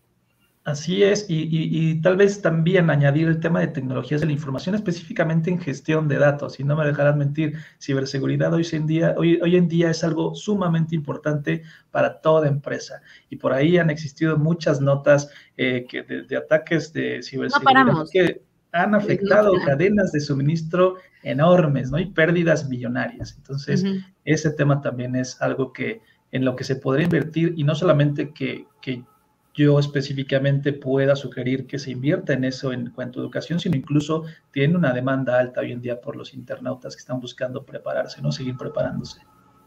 Claro. Eh, Antonio, Emanuel. Emanuel, adelante. Gracias. Sí, lo que acaba de decir David, este, las certificaciones o especialidades, viéndolo así, porque no necesariamente este, necesitas una certificación, puede ser eh, alguna otra modalidad. Sí, ciberseguridad eh, está, está muy demandado, la parte de datos, este, data science, científico de datos, eh, data analyst, este, es otro de ellos. Y este, la parte más tradicional, pero todavía sigue, Scrum, Project Manager, eh, certificarte en SAP en un módulo, híjole, te pagan en dólares por día, por hora, ¿no? Entonces, está muy bien pagado los consultores SAP todavía. serían, y el inglés, este, vuelvo ya, Ya, ya nos dijiste. Excelente, Antonio, ¿tú quieres agregar algo? Sí, bueno, eh, lo que había comentado hace rato, las competencias, las habilidades, la lógica de hacer las cosas, el cómo resolver problemas. Eh, sabemos que hay áreas... Es, esto que, mencionaste es tan importante para este sector porque, eh, pues bueno, yo eh, lo veía tal vez antes, hay un gran problema de ego, de decir, pues bueno, es que yo ya vengo de desarrollar o vengo, soy ex Uber, ex no sé qué, y es difícil a veces trabajar con ese tipo de perfiles que eh, pues son como muy hacia, hacia su personalidad, hacia su exigir un cierto sueldo, pero sí, la, el, el ¿cómo, ¿cómo podemos mejorar ese, ese skill, digamos, eh, para que poder trabajar mejor en, en equipo? Fíjate Justo que con, lo que dices, con, lo que dice Adolfo, Exactamente, un error común es hacerlo todo tú mismo. Eh, tú ves, por ejemplo, alguien, eh, yo lo veo como muy común en el área de sistemas, eh, sobre todo en empresas, la persona que lleva 10, 15, 20 años hasta en la escuela. A mí me ha tocado en el área de la educación. En algún momento en una escuela a nivel medio superior llegué como una persona nueva, obviamente ya llevaba experiencia, y la persona que estaba ahí, ese de que no te bajaba de, pues, de tonto, ¿no? Cuando se da cuenta que realmente eh, los conocimientos que lleva empieza a, pues, a frenar los ataques, digámoslo de alguna forma, y empezar a, pues, a respetar tu trabajo, por, no por caer en su juego, sino por lo que sabes, por lo que eres y por lo que pues tratas de trabajar en, en comunidad, ¿no? No toda la gente estaba desgraciadamente preparada para trabajar en comunidad, desde el que me cae mal, no quiero trabajar con él, no me interesa, eh, pues, para que me capacito si el jefe no me va a pagar más, eh, son muchos escenarios los que se están todavía arraigados, pero la realidad, en la empresa, y tanto David como Emmanuel no me podrán mentir, son totalmente diferentes. El día, el día que estén ellos en, en el área laboral, es que tienes que resolver problemas, te van a pagar por resolver problemas. Y también algo que quisiera agregar es que, pues a veces también los papás se quiten esa, esa idea o ese tabú de que terminando la carrera eh, pues ya te dan casi casi el puesto gerencial, ¿no? De que va a haber dinero, claro que sí va a haber dinero, vas a tardar, sí, por supuesto. La experiencia que tú vas generando en el transcurso de tu, de tu proceso, eh, aún sea la carrera más saturada, si tú eres bueno, a lo mejor no vas a ser eh, el presidente de Facebook, el dueño de Facebook, pero vas a tener un trabajo estable y eso es algo oye, Antonio, importante. Mande. Justo, justo eh, ahorita que, dices, van a salir con un puesto gerencial. Eh, y esto, esto viene mucho en, en, ahora sí que sucede mucho en las, en las empresas y el comentario es, es que los recién egresados no saben nada y aquí se les tiene que enseñar. esto lo he escuchado mucho en, en muchas empresas. Eh, si existe esa dicotomía todavía, eh, o cómo, cómo se está intentando, pues ahora sí que eliminar ese, ese, esa franja o ese espacio que hay entre lo que te enseñaron en la carrera y en lo que vas a hacer, ¿no? En lo que te están contratando por hacer, porque aparentemente sigue estando muy amplio eso. Bueno, es que también aquí pasa un problema. Eh, hay muchas empresas en la parte del reclutamiento que están eh, mal enfocadas. quieren y me ha tocado ver, a veces cuando yo he buscado trabajo, ingeniero en sistema que, sepa, que sepa de diseño, que sepa de contabilidad, que sepa de leyes y que sepa de soporte técnico. Y que baile salsa. Ah, ¿y qué quieres? ¿Quieres un contador? ¿Quieres un diseñador? Mm, las empresas eh, a, veces por presión, por eh, minorar costos, por muchas razones, quieren un todólogo y no requieren a un especialista. Ese también ha sido uno de los problemas. Digo, se entiende la parte monetaria de ellos, pero a veces lo barato sale caro y, sale muy, muy caro. Por otro lado, eh, también muchos de los alumnos no saben cómo venderse, cómo generar su currículum, cómo generar esos skills, como decía hace rato Fer, saludos Fer, eh, de qué es lo que sé, cómo estoy solucionando los trabajos, los problemas, cuáles son mis logros que he generado, cuáles son los logros que he generado para la escuela, para la empresa, para los lugares donde he hecho mis prácticas profesionales. Eh, obviamente volvemos a retomar la parte del o los idiomas, ¿sí? E-, esos puntos, más allá de los conocimientos que se te da en la escuela, es la vida real, es muy diferente a la escuela. David, Emanuel, yo tengo una. Ah, bueno, no, perdón, David, vas, vas, vas. Gracias, Alina. Sí, y, fíjate que este, esto es algo bien interesante porque entre los estudios justamente que hemos realizado en OCC Mundial, todavía estamos viendo una disparidad muy grande entre lo que pide la empresa y lo que busca el candidato. Entonces, por un lado, el, el ¿Por qué no lo saben pedir, David? No, más bien porque no es que no lo sepan pedir, sino que el, reclutador o la empresa va a buscar siempre experiencia. Y eso es algo que siempre sale dentro de encuestas que hemos realizado, entrevistas que hemos hecho, y, siempre buscar experiencia. Evidentemente está buscando eso en pro del negocio, en pro de la empresa. Pero por otro lado, el, el estudiante, perdón, el candidato lo que va a hacer es que va a buscar capacitarse, va a buscar preparación. Entonces ellos lo que buscan es, bueno, necesito un empleo en una empresa que me capacite, en una empresa que me prepare. Entonces, ahí hay mucha disparidad porque justamente hablamos de que por un lado tenemos los, los, planes de estudio, ¿no? Y muchos de estos planes de estudio no, no, están ligados justamente a aspectos laborales, ¿no? Entonces, no hay como ese camino, no, no tienes todas las bases, pero al final hay muchos planes de estudios que no te llevan a través de ejemplos prácticos ya en el aspecto laboral. Entonces, es ahí en donde cuando un estudiante, un recién egresado, llega a la vida laboral, se encuentra con este tipo de vacantes, se encuentra con este tipo de ofertas ya para ingresar a alguna empresa ve, solicito experiencia, solicito, experiencia, y eso empieza a crear mucha frustración en estos mismos candidatos, ¿no? Entonces, sí todavía sigue existiendo una disparidad, no es porque no sepan pedirlo, sino que más bien cada quien está buscando cosas diferentes, ¿no?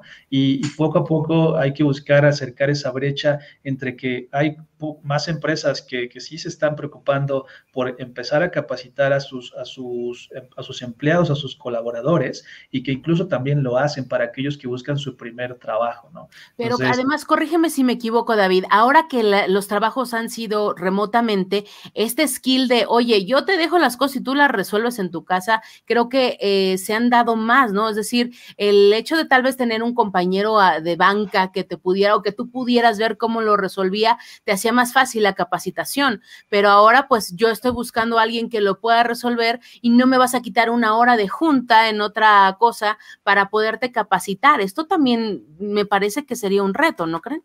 Exacto, y dentro, incluso dentro de los beneficios que luego llegamos a encontrar dentro de, las, dentro de las ofertas que se publican en OCC, ya las empresas están recalcando mucho que ofrecen capacitación, que ofrecen este tipo de herramientas para que puedas desarrollar tus habilidades. Sin embargo, todavía son muy pocas, todavía hay muchas que se enfocan 100% en la experiencia, 100% en la parte operativa, ¿no? Entonces, poco a poco va eh, cambiando este panorama, pero va un poco lento en el aspecto de, que la empresa ofrezca capacitación y de que, el, de que el candidato se sienta acogido por la empresa para poder desarrollar su vida profesional. Claro. Perdón, hay que, voy a hacer una interrupción. Yo creo que muchas veces también el miedo a capacitar por parte de las empresas es porque muchas empresas tienen el miedo a que sean empresas eh, escalafón, donde yo te capacito, y como yo ya no sé retenerte, te vas a otra empresa y hay gente que desgraciadamente o afortunadamente sea el caso, las utiliza así. Va, eh, me capacito en esta empresa, no me valoraste, me voy a la siguiente y se van escalando, escalando, escalando. Y, y, creo que tal vez ese ha sido uno de los motivos del por cual no todas las empresas han querido eh, pues obviamente dar esta capacitación, pero también no han sabido cómo retener muchas veces a esas personas dentro de un margen obviamente eh, razonable, ¿no? Sí, tienes, tienes razón, Antonio. Eh, retener al talento de, tecnología. Eh, Emanuel, ¿tú, ¿tú cómo has visto esta parte? Porque también Em, aparentemente, eh, con esta necesidad tan fuerte de, pues ahora sí que de elementos de TI, eh, lo vemos no solamente creo que en México, creo que también Silicon Valley es, una, es un asunto de, ahora sí que eh, robar talento a todos lados y ahora Shenzhen, ¿no? China también está disputando ahí talento internacional. Entonces, la expresión de muchas empresas es, es que los, ahora sí que los programadores son vedettes y hay que tratarlos con pincitas para que estén a gusto. ¿Qué esfuerzos están llevando las empresas para mantener este talento? Y, si es viable para una empresa este, nacional, pues mantener talento de ese calado. Sí, o sea, es un, reto este, completamente, ¿no? Ya lo, lo, mencionaron que hay un, cada vez, se, cada año se generan más vacantes que el número de egresados de las universidades de esta especialidad. Entonces ya de ahí el mercado está este, desfasado. Entonces, pues sí, digo, hay, hay empresas que le apuestan a, yo lo desarrollo desde que eres eh, recién egresado, te voy formando en, en lo que yo necesito y, tienes el reto de que hay empresas que ah, pues ya tienes un año y yo ya te pago. Eh, pues el doble de lo que ganas, ¿no? Entonces sí, definitivamente, como dice Antonio, es, es un reto eh, el retener talento a todos los niveles, ¿no? Ya si eres senior, Em, y lo que están haciendo, pues, es eh, ofrecer beneficios y creo que los grandes beneficiados de toda esta gran demanda son los mismos profesionales de tecnología, ¿no? Porque te tienen que ofrecer eh, compensaciones más atractivas, eh, hablando también de prestaciones, ¿no? Hasta el internet ahora, Emanuel, te tienen que dar parte de, este ayuda con la luz, con el internet, con la silla. Te mandan eh, casi, casi el, la oficina, tu casa, o sea, escoge el escritorio, escoge la, la, silla gamer que quieres para que estés a gusto, los dos monitores. Sí, e, esas empresas tienen que adaptarse un poco a, a esa situación y, y, pues creo que la parte es no salirte de, de, de este mercado y saber cómo están jugando los demás, ¿no? Eh, si te ofrecen capacitación, también ellos son mucho de que se aburren en los proyectos. Oye, ya tengo un rato con esta tecnología y ya quiero alguna otra cosa más interesante. Entonces también eh, en el desarrollo... Quiero que aproveches mi, mi, capacidad mental para otras, mi talento es, para otras cosas. No, es un gran reto, la verdad, es un súper reto para las empresas, el, pero se hacen muchas cosas desde cuando estábamos en la oficina, que te dan snacks, que los puffs, que el futbolito. Eh, hay oficinas la máquina de café rigurosa, ¿no? Exactamente, ¿no? Hay oficinas super padres en México que no le piden nada a otras de Estados Unidos. La verdad es que. Resbaladillas y hamacas, ¿no? Qué padre. Sí, súper bien. Tenemos otra. Dormir. Este, súper padre. Tenemos otra participación por acá del señor Irán, que mira, se presentó de forma remota. Es su programa. Y no es su programa y nos está, nos está este, buleando desde Guadalajara. Saludos, señor Irán. Él pregunta que cuál es mi opinión acerca del tema de emprendimiento de empresas de sistemas desde hace 10 años hasta la fecha. Pero eh, yo creo que mejor eh, voy a trasladar esta pregunta eh, para que ustedes en el panel nos la contesten, porque indudablemente fuera de lo que es sistemas, el mundo ha sido muy convulso últimamente y ha cambiado demasiado rápido, haciendo que los planes a largo plazo se pulvericen o tengan que pivotearse muy rápidamente. Eso en las cosas tradicionales. Ahora, en sistemas, no sé ni qué decirle al señor Irán. ¿Ustedes cómo lo han leído? Bueno, en mi caso yo podría ver que hace 10 años los emprendimientos eran más desarrolladoras de software. O sea, tal vez trabajo en una desarrolladora de software y ahora voy a hacer la misma, ¿no? Para otros clientes. Entonces creo que era más el, el tipo de, de, de, casos que yo estaba viendo, ¿no? El, el, el, volverse desarrollar para otros, consultorías básicamente. Y ahora sí creo que es más centrado en productos, o sea, productos escalables, que como, como decíamos, no tienes que tener N sucursales en N ciudades, sino ya puedes vender, puedes este, hacer eh, transacciones desde eh, fintechs, este, híjole, hay, la verdad es que hay, hay ejemplos de, de, cualquier tipo, entonces creo que ya hay el emprendimiento en tecnología en México está transicionando a productos eh, bastante buenos y afortunadamente también hay el tema de recientemente la parte de inversión también ya juega para que puedas competir contra otros grandes que ya están en el mercado desde mi opinión sería como la gran diferencia. Y abonando a eso, Emanuel, también tiene mucho que ver con la infraestructura con la que vas a invertir, es decir, tal vez, eh, y corrígeme si me equivoco, eh, eh, ya no tendrías una oficina tal vez tal cual, la gente puede trabajar con sus propios equipos, o sea, en esta variación, digamos, de, de poder contratar, y bueno, no mencionando dentro de todo esto la ley de outsourcing, ¿no? Que también es un, es un temota, el poder eh, plantear a este colaborador independiente o este, especializado, digamos, que puede estar en cualquier parte del mundo eh, y que solamente me entregue algo para trabajar a mí y que, y que esto me sea más fácil de manejar desde donde quiera que esté, ¿no?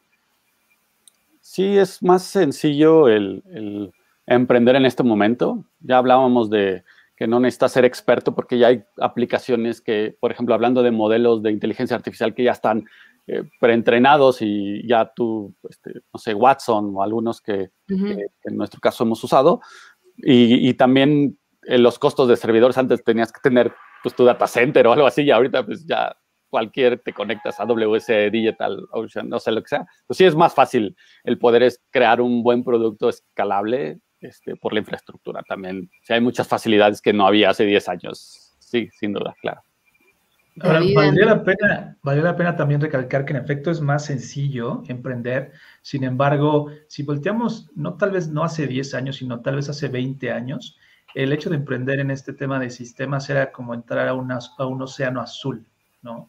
Pero hoy en día, hoy, hoy por hoy se vuelve un océano rojo, porque sí hay tanta facilidad, hay tanta flexibilidad hoy, que de pronto ya te puedes encontrar con mucho tipo de, emprendimientos a nivel sistema, sobre todo por el auge que está teniendo hoy la tecnología, ¿no? Sí, definitivamente hay muchas cuestiones en las que todavía eh, se puede encontrar océanos azules, sin embargo, creo que poco a poco el hecho justamente de tener mucha mayor facilidad digital, mucha mayor facilidad tecnológica, pues nos lleva justamente a tener poco a poco más emprendedores que busquen incluso desarrollar sistemas muy similares, ¿no? Y, ahí entra el tema de pues diferenciadores, de cómo vender tu producto, de cómo poder generar ciertas ventajas unos frente a otros.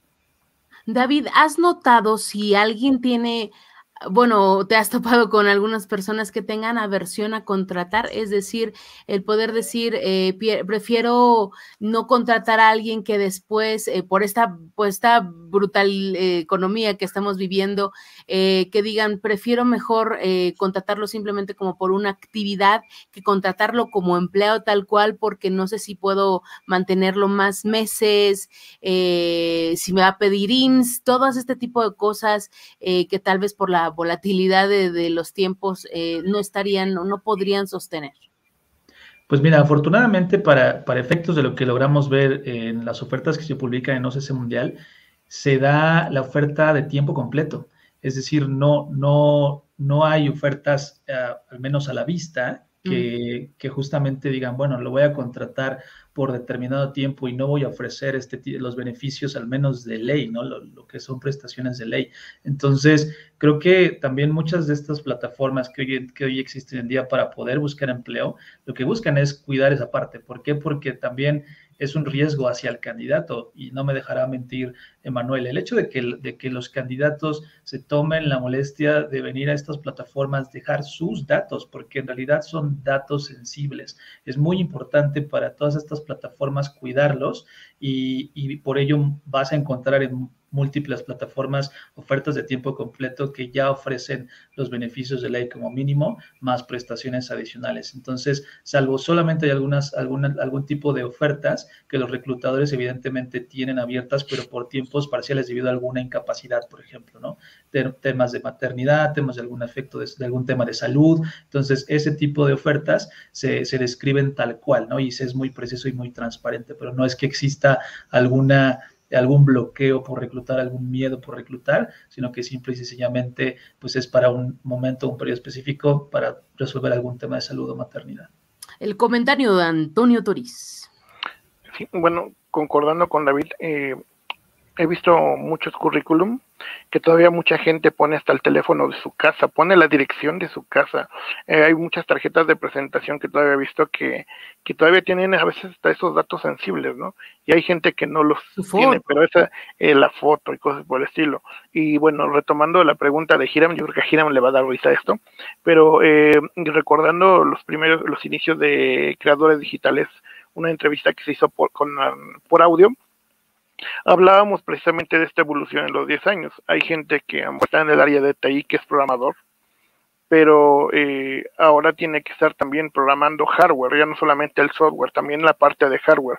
En, la parte de, la última aldea digital que se hizo en Ciudad de México, en ese momento estábamos varias personas y le va a dar risa a, Girán porque hablábamos de unos compañeros de Adiel Juárez que me decía, bueno, y nos preguntó a todos si a ustedes a qué se dedican, ¿no? Y a mí me pregunto, ¿y tú te, qué te dedicas a hardware? Ah, hardware, te vas a morir de hambre. Ahora, a 10 años, creo que esa tendencia de pensar de esa forma no es así. Hay mucha gente que está desarrollando la parte de hardware, la parte de programación o la parte híbrida, que también están solicitando muchas empresas o mucha gente por emprendimiento está haciéndolo para hacer sus propios dispositivos enfocados a sus propias necesidades. Claro. Emanuel. En, mi caso, Alina, del, tema de si tienen miedo a contratar este, pues, full time como empleado, me parece que es, más un poco hacia, eh, por ejemplo, de, Estados Unidos se, usa el término de contractor, eh, que es como... Este... ojo con los contratos que te mandan por DocuSign, ¿eh? Todo ese tema también de contratación ahí, a ver también si me lo comentan, porque uff, hay una ahí Sí, creo que es más bien es que no existen todavía este, mecanismos que te permitan contratar a gente de otros países. Entonces, la única manera que tienes, pues si estás en Colombia y, yo estoy constituido en México, pues no te puedo dar ni de alta ante el IMSS, ¿no? O sea, o sea, ni aunque quiera, te tendrás que venir y hacemos el trámite. Oye, Manuel, pero ¿no crees que eso tiene que cambiar para hacernos más competitivos, para poder traer más talento? Eh, pues no sé si traer, pero al final creo que sí, para tener el talento de donde esté y sea bueno, de cualquier país, o sea, sí tiene que cambiar, pero creo que esto es entre países, o sea, no, no solamente México. Entonces, por eso es que se usa el término de que te contrato en un escenario distinto a que no eres empleado. O sea, realmente en mi nómina, en mi, no en mi nómina, perdón, en mi, dentro de mi organización, sí tienes el correo, sí tienes las ocho horas, este, trato incluso de darte prestaciones, eh, digo, no sé si en otros países pueda, pero eh, darte alguna, algo similar. Digamos que las empresas sí lo tratan como empleados iguales, pero pues a la manera legal de darte de alta prestaciones, ahí es cuando ya creo que entre países ya no hay esa este, posibilidad. Sí, digamos como ese derecho laboral que podría aplicar contra otras cosas. Derecho laboral internacional, por así decirlo, que ahorita no existe. Así que ojo, eh, con todas las empresas, también hay empresas nacionales o, particulares que se hacen firma estos documentos de DocuSign que no siempre tienen validez legal, así que siempre revísenlo con un abogado de de, su casa, de su confianza, pues, perdóname. Oye, Manuel. Que, no hay ese tema tan unificado. Y abonando a, eso que dijiste, de que no existen eh, internacionalmente, tienes toda la razón, porque ahorita justo recuerdo que eh, se produjo una inmigración de trabajadores londinenses tras el Brexit porque perdían las, las prestaciones laborales de la zona euro. Y tan mal está, eh, ahora sí que las leyes internacionales, que dentro de la misma Europa tuvieron que pues, retacharse a su casa, ¿no? Decir, pues aquí ya no voy a tener eh, pues, mis prestaciones vigentes, me regreso porque ya no eres zona euro, ¿no? Entonces, creo, que, creo que tienes toda la razón, hay que, hay que poner el, el foco ahí, pues para poder captar este talento y ser competitivos, ¿no? Ya hay unas iniciativas, ¿eh? incluso pagar con cripto para el tema de pues pesos mexicanos contra, no sé, colombianos, este, sí, contra gente. te vas al Salvador, al ¿eh? cajero ahí al Salvador y ya sacas para tu Soriana, ¿no? David, perdón, dime David.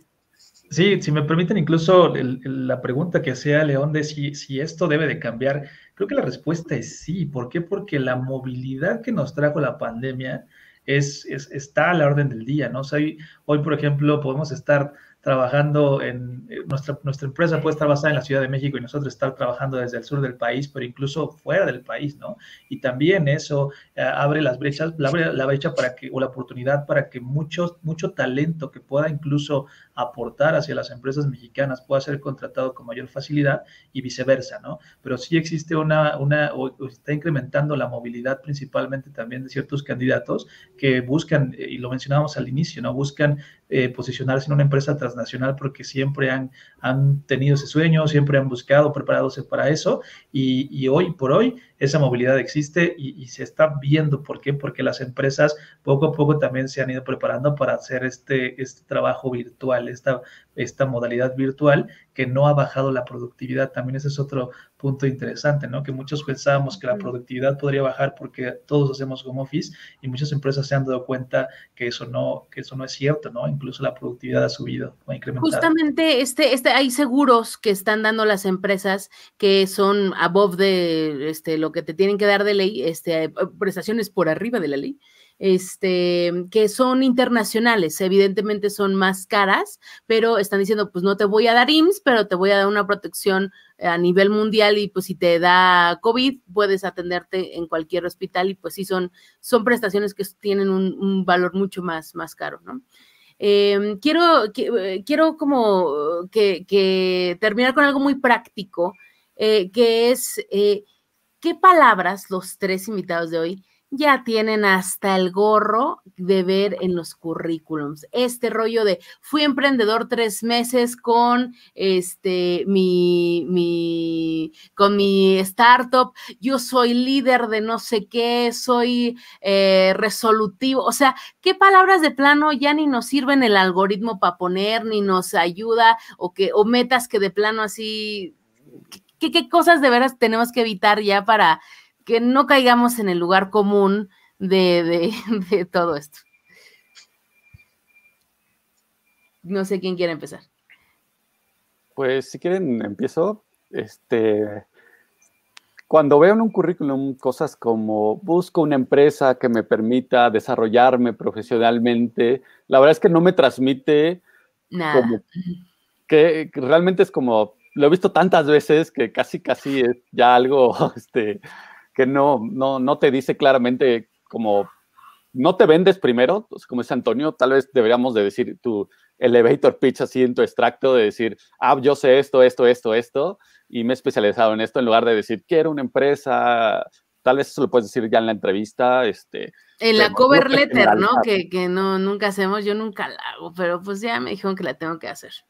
La otra es, pues sí, ya cuando pones cosas muy generalistas como sé Word, pues PowerPoint, Outlook, he visto, acabo de ver un currículum que dice Outlook, entonces sí, ya eso no aporta nada a, a, tu currículum, ¿no? Entonces sí, sería lo, los que por favor no lo pongan o, la primaria cuando ya sabes que para llegar a la Ay, carrera, tuviste que haber Hay mucha gente que pone la primaria porque si no, no pone nada, Emanuel. O sea, Ah, ponen claro. dos cosas y pues tienen que poner la primaria, está cañón. De mi parte serían esos, así. David, ¿tú qué de plano ya has visto así que dices, no manches, por favor, ya no lo pongan? Y estás muteado. Pues, perdón, per- sí, sí me di cuenta, perdón. Eh, en realidad, eh, mira, hay algunos currículums, y esto principalmente se presenta en aquellos candidatos que están buscando su primera oportunidad laboral.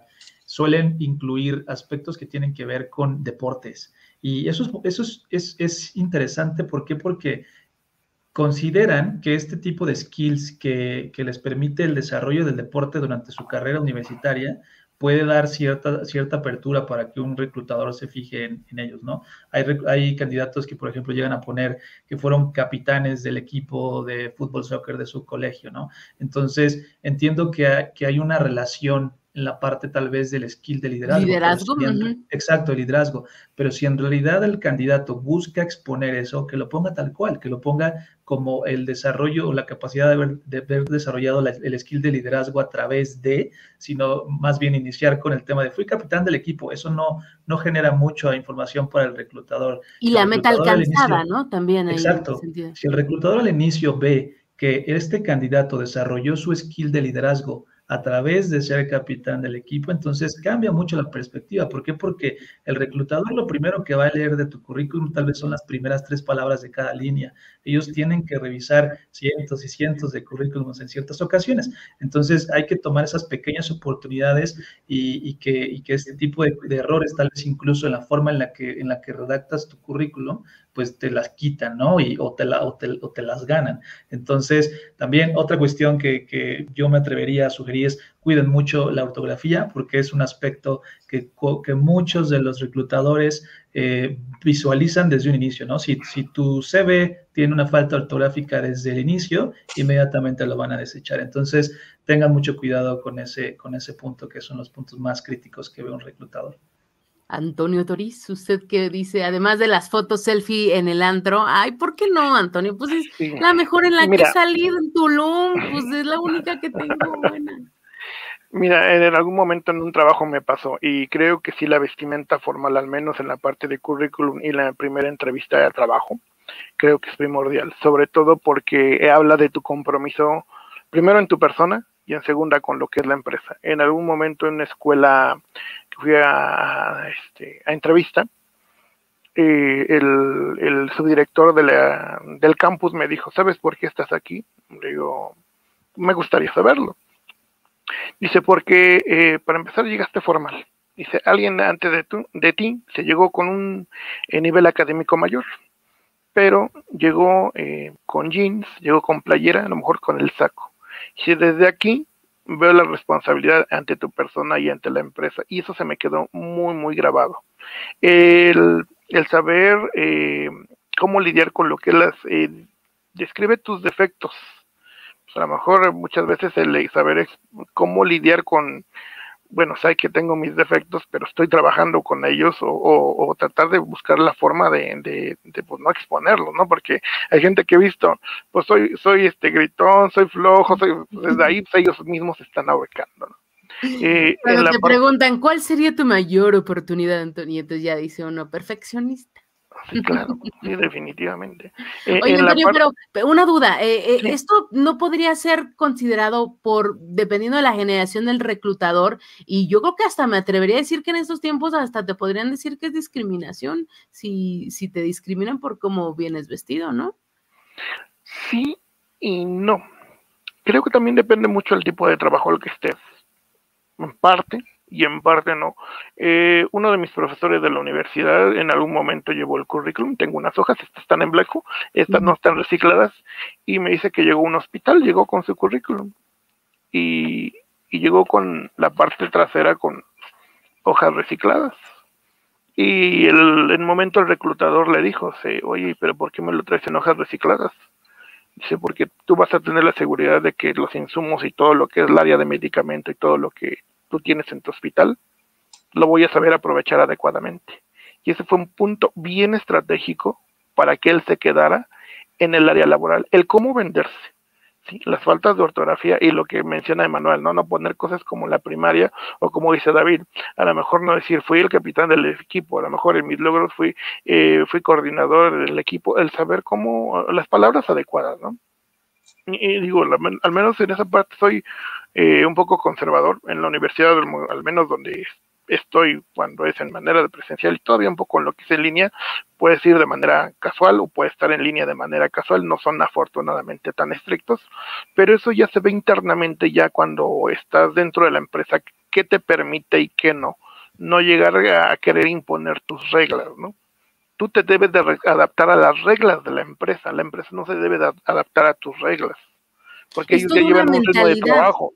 Sí, es definitivamente. un cambio de mentalidad versus lo que decíamos. ¿Por qué, ¿Por qué México no tiene más emprendedores? Vamos a hacer una empresa. O sea, esta idea como de, de, querer cambiar, imponer, y a veces cuando llegan a una empresa, eh, el saber obedecer, el saber realmente adaptarse y que esto viene necesariamente de la mano de trabajar en equipo, puede ser a veces muy complicado. Sí, y, depende mucho de lo que dices de la perspectiva de la persona, y hasta desde la educación en casa, ¿no? Si en casa no te pusieron límites, obviamente no vas a tener límites en, el momento de buscar un, un, trabajo. Y muchas veces vas hasta que te toques con pared definitivamente y entiendas de que no va por ahí el asunto, no vas a poder entender que, más que llegar tarde y exigir a veces que te asciendan de puesto y te aumenten el salario, pues cómo, ¿no? O sea, no, tú mismo, tú misma no estás generando las herramientas para que, pues obviamente tu trabajo hable, pues de ti, ¿no? Claro, a veces las, las, reglas del éxito a veces pueden ser muy inamovibles, pero sí el tema de, de cómo trata a la gente, de, de la presencia, de la puntualidad, de la disciplina, siguen siendo las mismas para cualquier profesión, digamos, y para cualquier. Y el trato de persona a persona, ¿no? el saber cómo atender a las personas, ¿no? Eh, me, me, pasó igual en una escuela aquí en Puebla, en una que es prepa y universidad, muy, muy famosa en todo México, colores rojo y blanco, que, que este que llegué en un momento muy temprano y, estaba el personal de intendencia le dije, buenos días, señora. La señora me volteó y se queda viendo así de, ¿me está hablando a mí? Sí, señora, le dije buenos días. Si le digo algo y no se molesta, dígame. Es que aquí los docentes no nos hablan, nos ven menos que nada. Y caso curioso, bueno, yo le dije, pues yo sí saludo, buenos días y punto. Llego al área donde tengo que firmar digitalmente, veo pasar a una persona, le dice a la señora, hola señora, buenos días, ah, buenos días. Llegamos al mismo tiempo y me dice, profesor, buenos días, buenos días y la persona que está en de coordinación de esa área dice, rector, buenos días, buenos días. Qué curioso, ¿no? Que la persona que a lo mejor tiene el rango mayor, y pasa en muchas empresas, ¿no?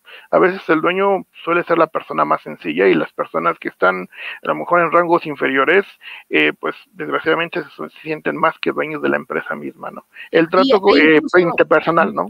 Hay incluso el recurso de ponerse audífonos, ¿no? De pasar, pues no veo a nadie, no escucho a nadie, venía hablando con el celular, o sea, no estar como en esta cuestión. Y créanme que como muy buena ingeniera social que soy, siempre, siempre, hasta los hospitales, el hablar con alguien y poderlo saludar y tener esa oportunidad de, de, charlar o que te puedan ayudar. Yo entré, así como que el comentario muy, muy bobo, eh, me dejaron pasar a a un área del hospital donde estaba mi abuelita y no podía pasar por un señor de intendencia con el que platiqué 20 minutos. Entonces, nunca den por sentado la, ayuda o la, relación que puedan tener con estas personas simplemente por tratarlos como se debería tratar a todo el mundo. Exactamente. Oye, Alina, si me lo permiten, eh, me gustaría eh, una última pregunta, regresar al tema de la educación y hacer un ejercicio hacia adelante de prospectiva, si quieren. Eh, David, eh, con, el, con el estudio que traes, hay, hay un par de conclusiones que, que, me, que, me, gustan y que se ven hacia futuro interesantes. Eh, y la pregunta es muy llana y sencilla, ¿cómo ven el e-learning a futuro? o la educación a distancia, ¿crecerá? ¿Cómo, cómo será? ¿Qué, qué tienen en, en mente para, para esto en el futuro? Definitivamente confiamos en que crecerá. Y, esto, porque, por lo que trajo la pandemia, ¿no? Incluso ya estaba creciendo. Si comparamos contra años anteriores, vemos, y lo decíamos en un momento, 10 años atrás la oferta era muy poca, hoy en día la oferta es mucho mayor. Y, con todo el tema de la pandemia y la movilidad, e incluso la demanda que están teniendo los internautas para poder buscar oferta educativa en línea o incluso mixta, definitivamente confiamos en que va en que va a crecer, ¿no? Y, sobre todo en, el hecho de, ofrecer ciertas no solamente cursos, no solamente diplomados, sino ya licenciaturas completas, ingenierías completas, maestrías, especialidades, ya podemos encontrar este tipo de ofertas educativas en línea y, que definitivamente permiten que, se sigan preparando los profesionistas en pro de también fortalecer la, empleabilidad formal en el país, ¿no? David, ¿tú ves que algún sector vaya de la mano con esto? Es decir, em, evidentemente el educativo eh, podría tener un, aumento, pero también en el tema de infraestructura de Internet, en el tema de venta de computadoras. ¿qué, crees que también vaya acompañado con esa decisión eh, y con esa tendencia más bien? De entrada, algo que nos dejó también la pandemia es todo el tema de la conexión a Internet, ¿no? Eh, una de las, de, los, de las preguntas que se realizaron es si antes de, iniciar la pandemia, aquellos estudiantes que decidieron empezar a estudiar o seguirse preparando al momento de hacer esta migración al 100% digital, si tuvieron que incrementar su ancho de banda. Y la respuesta, en la gran mayoría, es decir, más del 50% nos decía, sí, sí tuve que, hacer o contratar o incrementar mi ancho de banda. Y no sé si recuerden, pero por ahí de pronto llegamos a ver algunos servicios de Internet que empezaron a meter fibra óptica por todos lados al inicio de la pandemia. ¿Por qué? Porque no solamente estaban conectándose estudiantes pequeños, es decir, niños, sino también estudiantes universitarios, estudiantes de preparatoria, nosotros mismos como, como profesionistas en nuestro, en nuestro trabajo. Entonces, eso requirió una inversión no solamente de las empresas, no solamente de infraestructura, sino también eh, de, las mismas personas que tuvieron que llegar a su casa a trabajar, tuvieron que incrementar su, su ancho de banda y que incluso algunos de ellos tuvieron que adquirir eh, equipos portátiles, tuvieron que adquirir tablets, tuvieron que, adquirir smartphones para poder seguir su preparación, ¿no? Incluso eh, pasados algunos meses hubo universidades que desarrollaron aplicaciones móviles para que los estudiantes pudieran seguir eh, teniendo sus clases, entregando sus actividades o tareas eh, a través de estas plataformas. Entonces, definitivamente hay sectores que seguirán creciendo derivado de también el incremento de, la, de la oferta educativa en línea y mixta. Retomando la conclusión, Emanuel Olvera, gracias. Sí, definitivamente la, distancia va a crecer y yo lo que sí veo es un poco el que el alumno va a ser un poco más flexible en, cuestión de los módulos, las materias. O sea, creo que en, algún momento va, eh, se van a poder crear, este, pues sí, esas carreras como híbridas donde, ah, yo soy muy bueno en cierta área, entonces, la verdad, pues tomo las mayor materias que pueda para fortalecer eso que ya soy bueno. Entonces, más bien yo veo esa flexibilidad, no tan tienes que tener estos créditos, estas materias, si no los cumples, no, no sales, ¿no? sí, como en las maestrías en donde no importa tanto como cuál es el tronco común, sino que haces un proyecto y terminas como... Sí, que eliges, tú vas armando como tu plan de estudios, me parece que algo así, este, podría ser bastante interesante. Es lo que, no es mi especialidad, pero como que creo que podría ser hacia allá. Antonio. Sí, definitivamente eh, va a continuar la parte de eh, las clases en línea. Yo creo que es más eh, para algunos casos y materias o, carreras va a tener que ser en un plan híbrido por la parte de, de este prácticas profesionales o prácticas directamente en laboratorios, como lo mencionaba en algún momento, el saber poner el suero, eh, para el caso de las áreas de la salud, eh, en la parte de, eh, de, tecnologías, a veces era el ponchado a la fibra óptica y los contenidos, a final de cuentas, muchos de los contenidos que están en línea están mejorando y van a mejorar todavía más. ¿sí? Aquí el docente se expone con su calidad, o eres bueno o no eres bueno.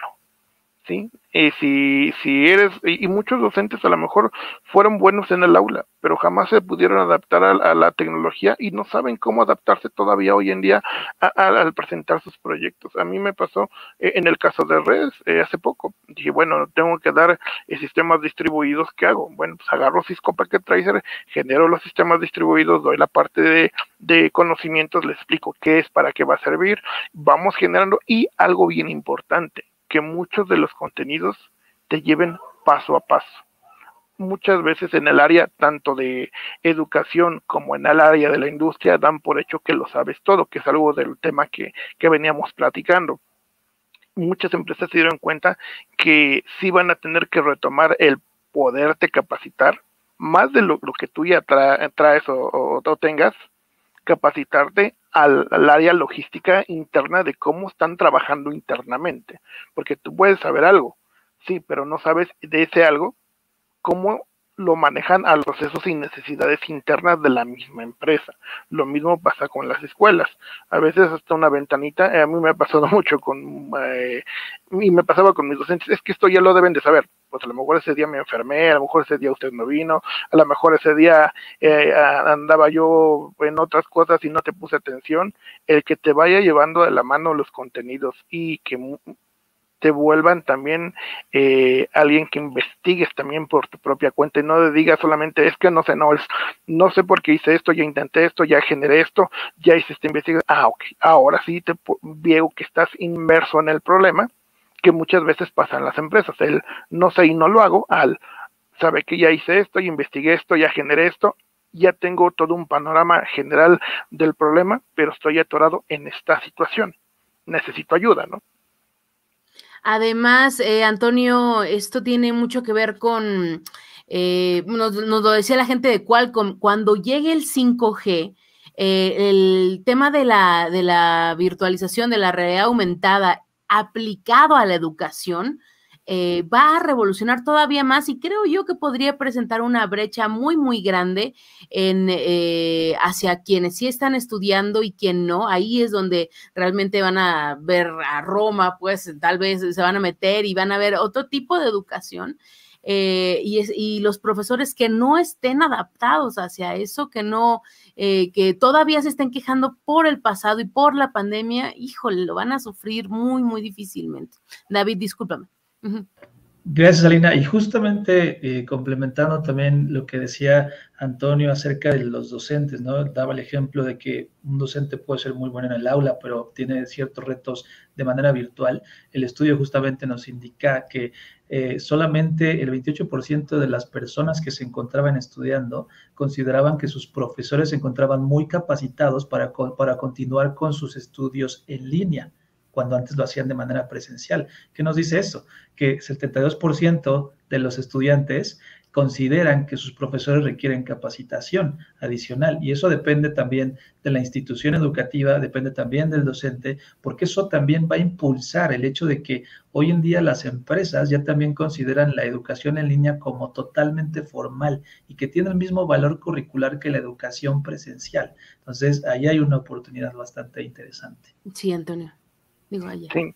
Eh, aquí eh, doy una materia que se llama plataformas de enseñanza virtual y lo primero que le digo al área educativa es que la enseñanza virtual no es virtual, es real. A final de cuentas, es real. Y depende mucho de las estrategias pedagógicas que vaya generando el docente para que tú puedas aprender. Eso por una parte. Por otra, me ha tocado dar cursos. Eh, en algún momento en Estado de México me tocó dar un curso a los docentes. Eh, el gobierno del Estado de México nos regaló tablets a todos y a mí me dice el director del plantel de nivel medio superior, ¿sabes qué? ¿Puedes dar un curso de las tablets para los demás docentes? Sí, adelante, yo encantado. Me preparo, preparo mi material. ¿Sin qué tiempo? Una semana. Ya te lo tengo todo listo para las necesidades como la querían. Descarga de apps, eh, herramientas en línea, cómo ver videos. Bueno, todo lo necesario para la escuela. Al momento de dar el curso, entre un 15 y un 20%, y eso es real, solamente estaba interesado en el curso. Los demás estaban en el café, estaban en la plática. Ah, yo nomás vine porque el director no me esté molestando. Vine a firmar. Eh, yo vengo a firmar, este, pues ya se la voy a regalar a mi sobrino, yo para qué la voy a querer.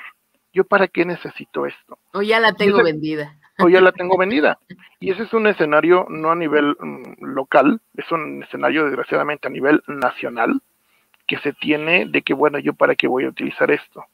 Y les comentaba yo en su momento a, a los docentes, se van a acordar de que lo que no aprendieron se van a lamentar tiempo después. Pasaron dos años, que es 2020, marzo de 2020, y yo creo que más de uno se acordó de lo que les dije. ¿Por qué? Porque más de uno no le interesó en su momento el estarse capacitando. ellos decían, bueno, yo ya tengo la plaza, yo ya estoy aquí, pues si quieren aprender bien y si no también, no es mi problema. Desgraciadamente esos son a veces los males que se tienen en la parte educativa desde el punto de vista docente desde el punto de vista estudiante, perdón, es a veces la responsabilidad, lo que en algún momento en creadores eh, sesiones pasadas hablábamos, ¿no? Las famosas horas Pompi, ¿no? la gente en la parte de Office, la oficina este, directamente, es, se tuvieron muchos que autodisciplinar, ¿no? Ya no es de que vendes el abón, que te daba risa, ¿no? Ya que este, ya no es que te pones a vender cuanta cosa y media, ahora estás en casa, estás frente a una computadora, tú sabes administrar tu tiempo, aquí está el trabajo, lo puedes acabar tanto en cuatro horas como en las seis horas o las ocho horas laborales, y si lo acabas en cuatro horas en vez de las ocho, pues empiezan ahí las alarmas para el jefe, ¿no? ¿Cómo es que lo haces el mismo trabajo en cuatro horas eh, si antes lo hacías en ocho? ¿Qué es lo que estaba pasando? Pues obviamente había una, una fuga, ¿no? Una fuga laboral, una fuga de productividad que antes no se hacía tan evidente. Claro, y esto también, nada más como un post-it a lo que tú dices, eh, abrió la posibilidad para la gente que tal vez hasta como yo, que yo sé inglés, digamos, estoy dando clases de inglés a niños porque no tienen maestros de inglés o las clases de inglés a veces son de con 50 niños y no les ponen atención. Entonces, han habido muchas personas que tal vez no son súper especializadas, pero que sí les ponen atención a un solo alumno o les tienen paciencia o, otras cosas, ¿no? Entonces, eh, están abriendo ese mercado hacia también a los profesionistas que están enseñando Java, Python, Python, todos estos lenguajes de manera particular y que pues también representa un ingreso para nosotros y una pues una posibilidad de compartir nuestro conocimiento de una manera eh, pues tal vez informal, pero que también es necesaria. Perdón, Emanuel, ¿querías decir algo? Eh, no, no, no. Creo que ya lo que dijo Antonio está, está bastante claro, ¿no? Que también las competencias de los maestros para hacerlo en línea tiene su, su, reto, ¿no? El que te presten atención, el que no estén abriendo YouTube. Este, bueno, yo tengo hijos y pues sí, de repente me los cacho haciendo otras cosas que, no poniendo atención en la clase. Pues sí, es un, reto también para los maestros, ¿no? No, no está fácil también. Claro. ¿León? No, pues eh, ahora sí que creo que ya eh, las preguntas ya quedaron eh, con su debida respuesta. ahora sí que yo agradezco la, la asistencia de, todos, de David, de Manuel, de Antonio, a este, a este panelito que armamos. La verdad es que estuvo muy rica la, la plática y pudimos tener pues estas diferentes aristas, ¿no? De, de lo que está ocurriendo tanto de, en, la, en la parte educativa, pero también con un montón de tinte laboral y eso, eso también agradó mucho en, en, en, este momento. Entonces, este, bueno, ahora sí que yo les agradezco y como dice Alina siempre, aquí está su casa cuando quieran volver a platicar eh, más adelante.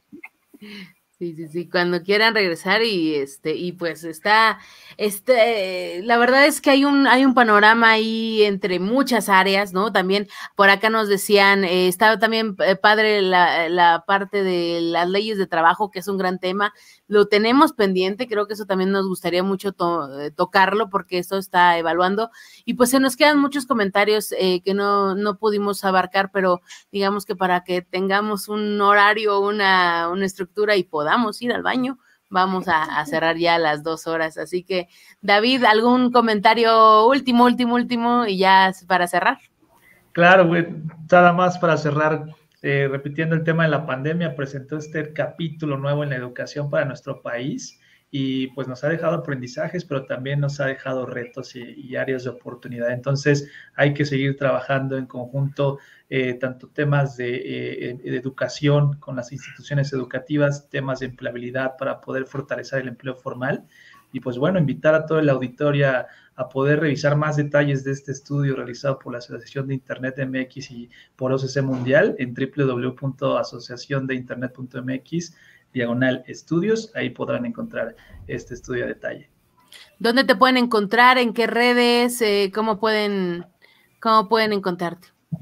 Pueden visitarnos también a través del blog de, OCC Mundial, eh, justamente lo que estamos viendo en pantalla, www.occ.com.mx, diagonal blog, y también en Twitter, arroba OCC Mundial, Facebook, occmundial.com, Instagram y todas las demás redes sociales como occmundial.com.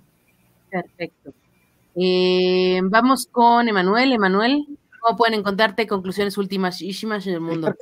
por último, nada más les quiero dar una, una invitación hablando de esta alta demanda que hay en este tema de talento tecnológico, eh, justo esta semana está llevando a cabo un evento de reclutamiento donde eh, una de las principales instituciones financieras a nivel mundial, que es HCBC, en México está reclutando 250 personas, eh, tiene 250 vacantes solamente en este momento en el tiempo para gente de tecnología. Entonces, si tú quieres transformar este tema financiero en México, eh, puedes entrar a empleosti.com.mx, diagonal HCBC, y, participar en todas estas vacantes que tiene esta, esta empresa. Eh, nos pueden encontrar en, en, todas las redes como empleosti y también muchísimas vacantes en empleosti.com.mx.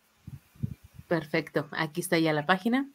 Y eh, vamos entonces con Antonio. Antonio, aquí estoy compartiendo, dame un segundo para compartir eh, tu página. Listo, señor.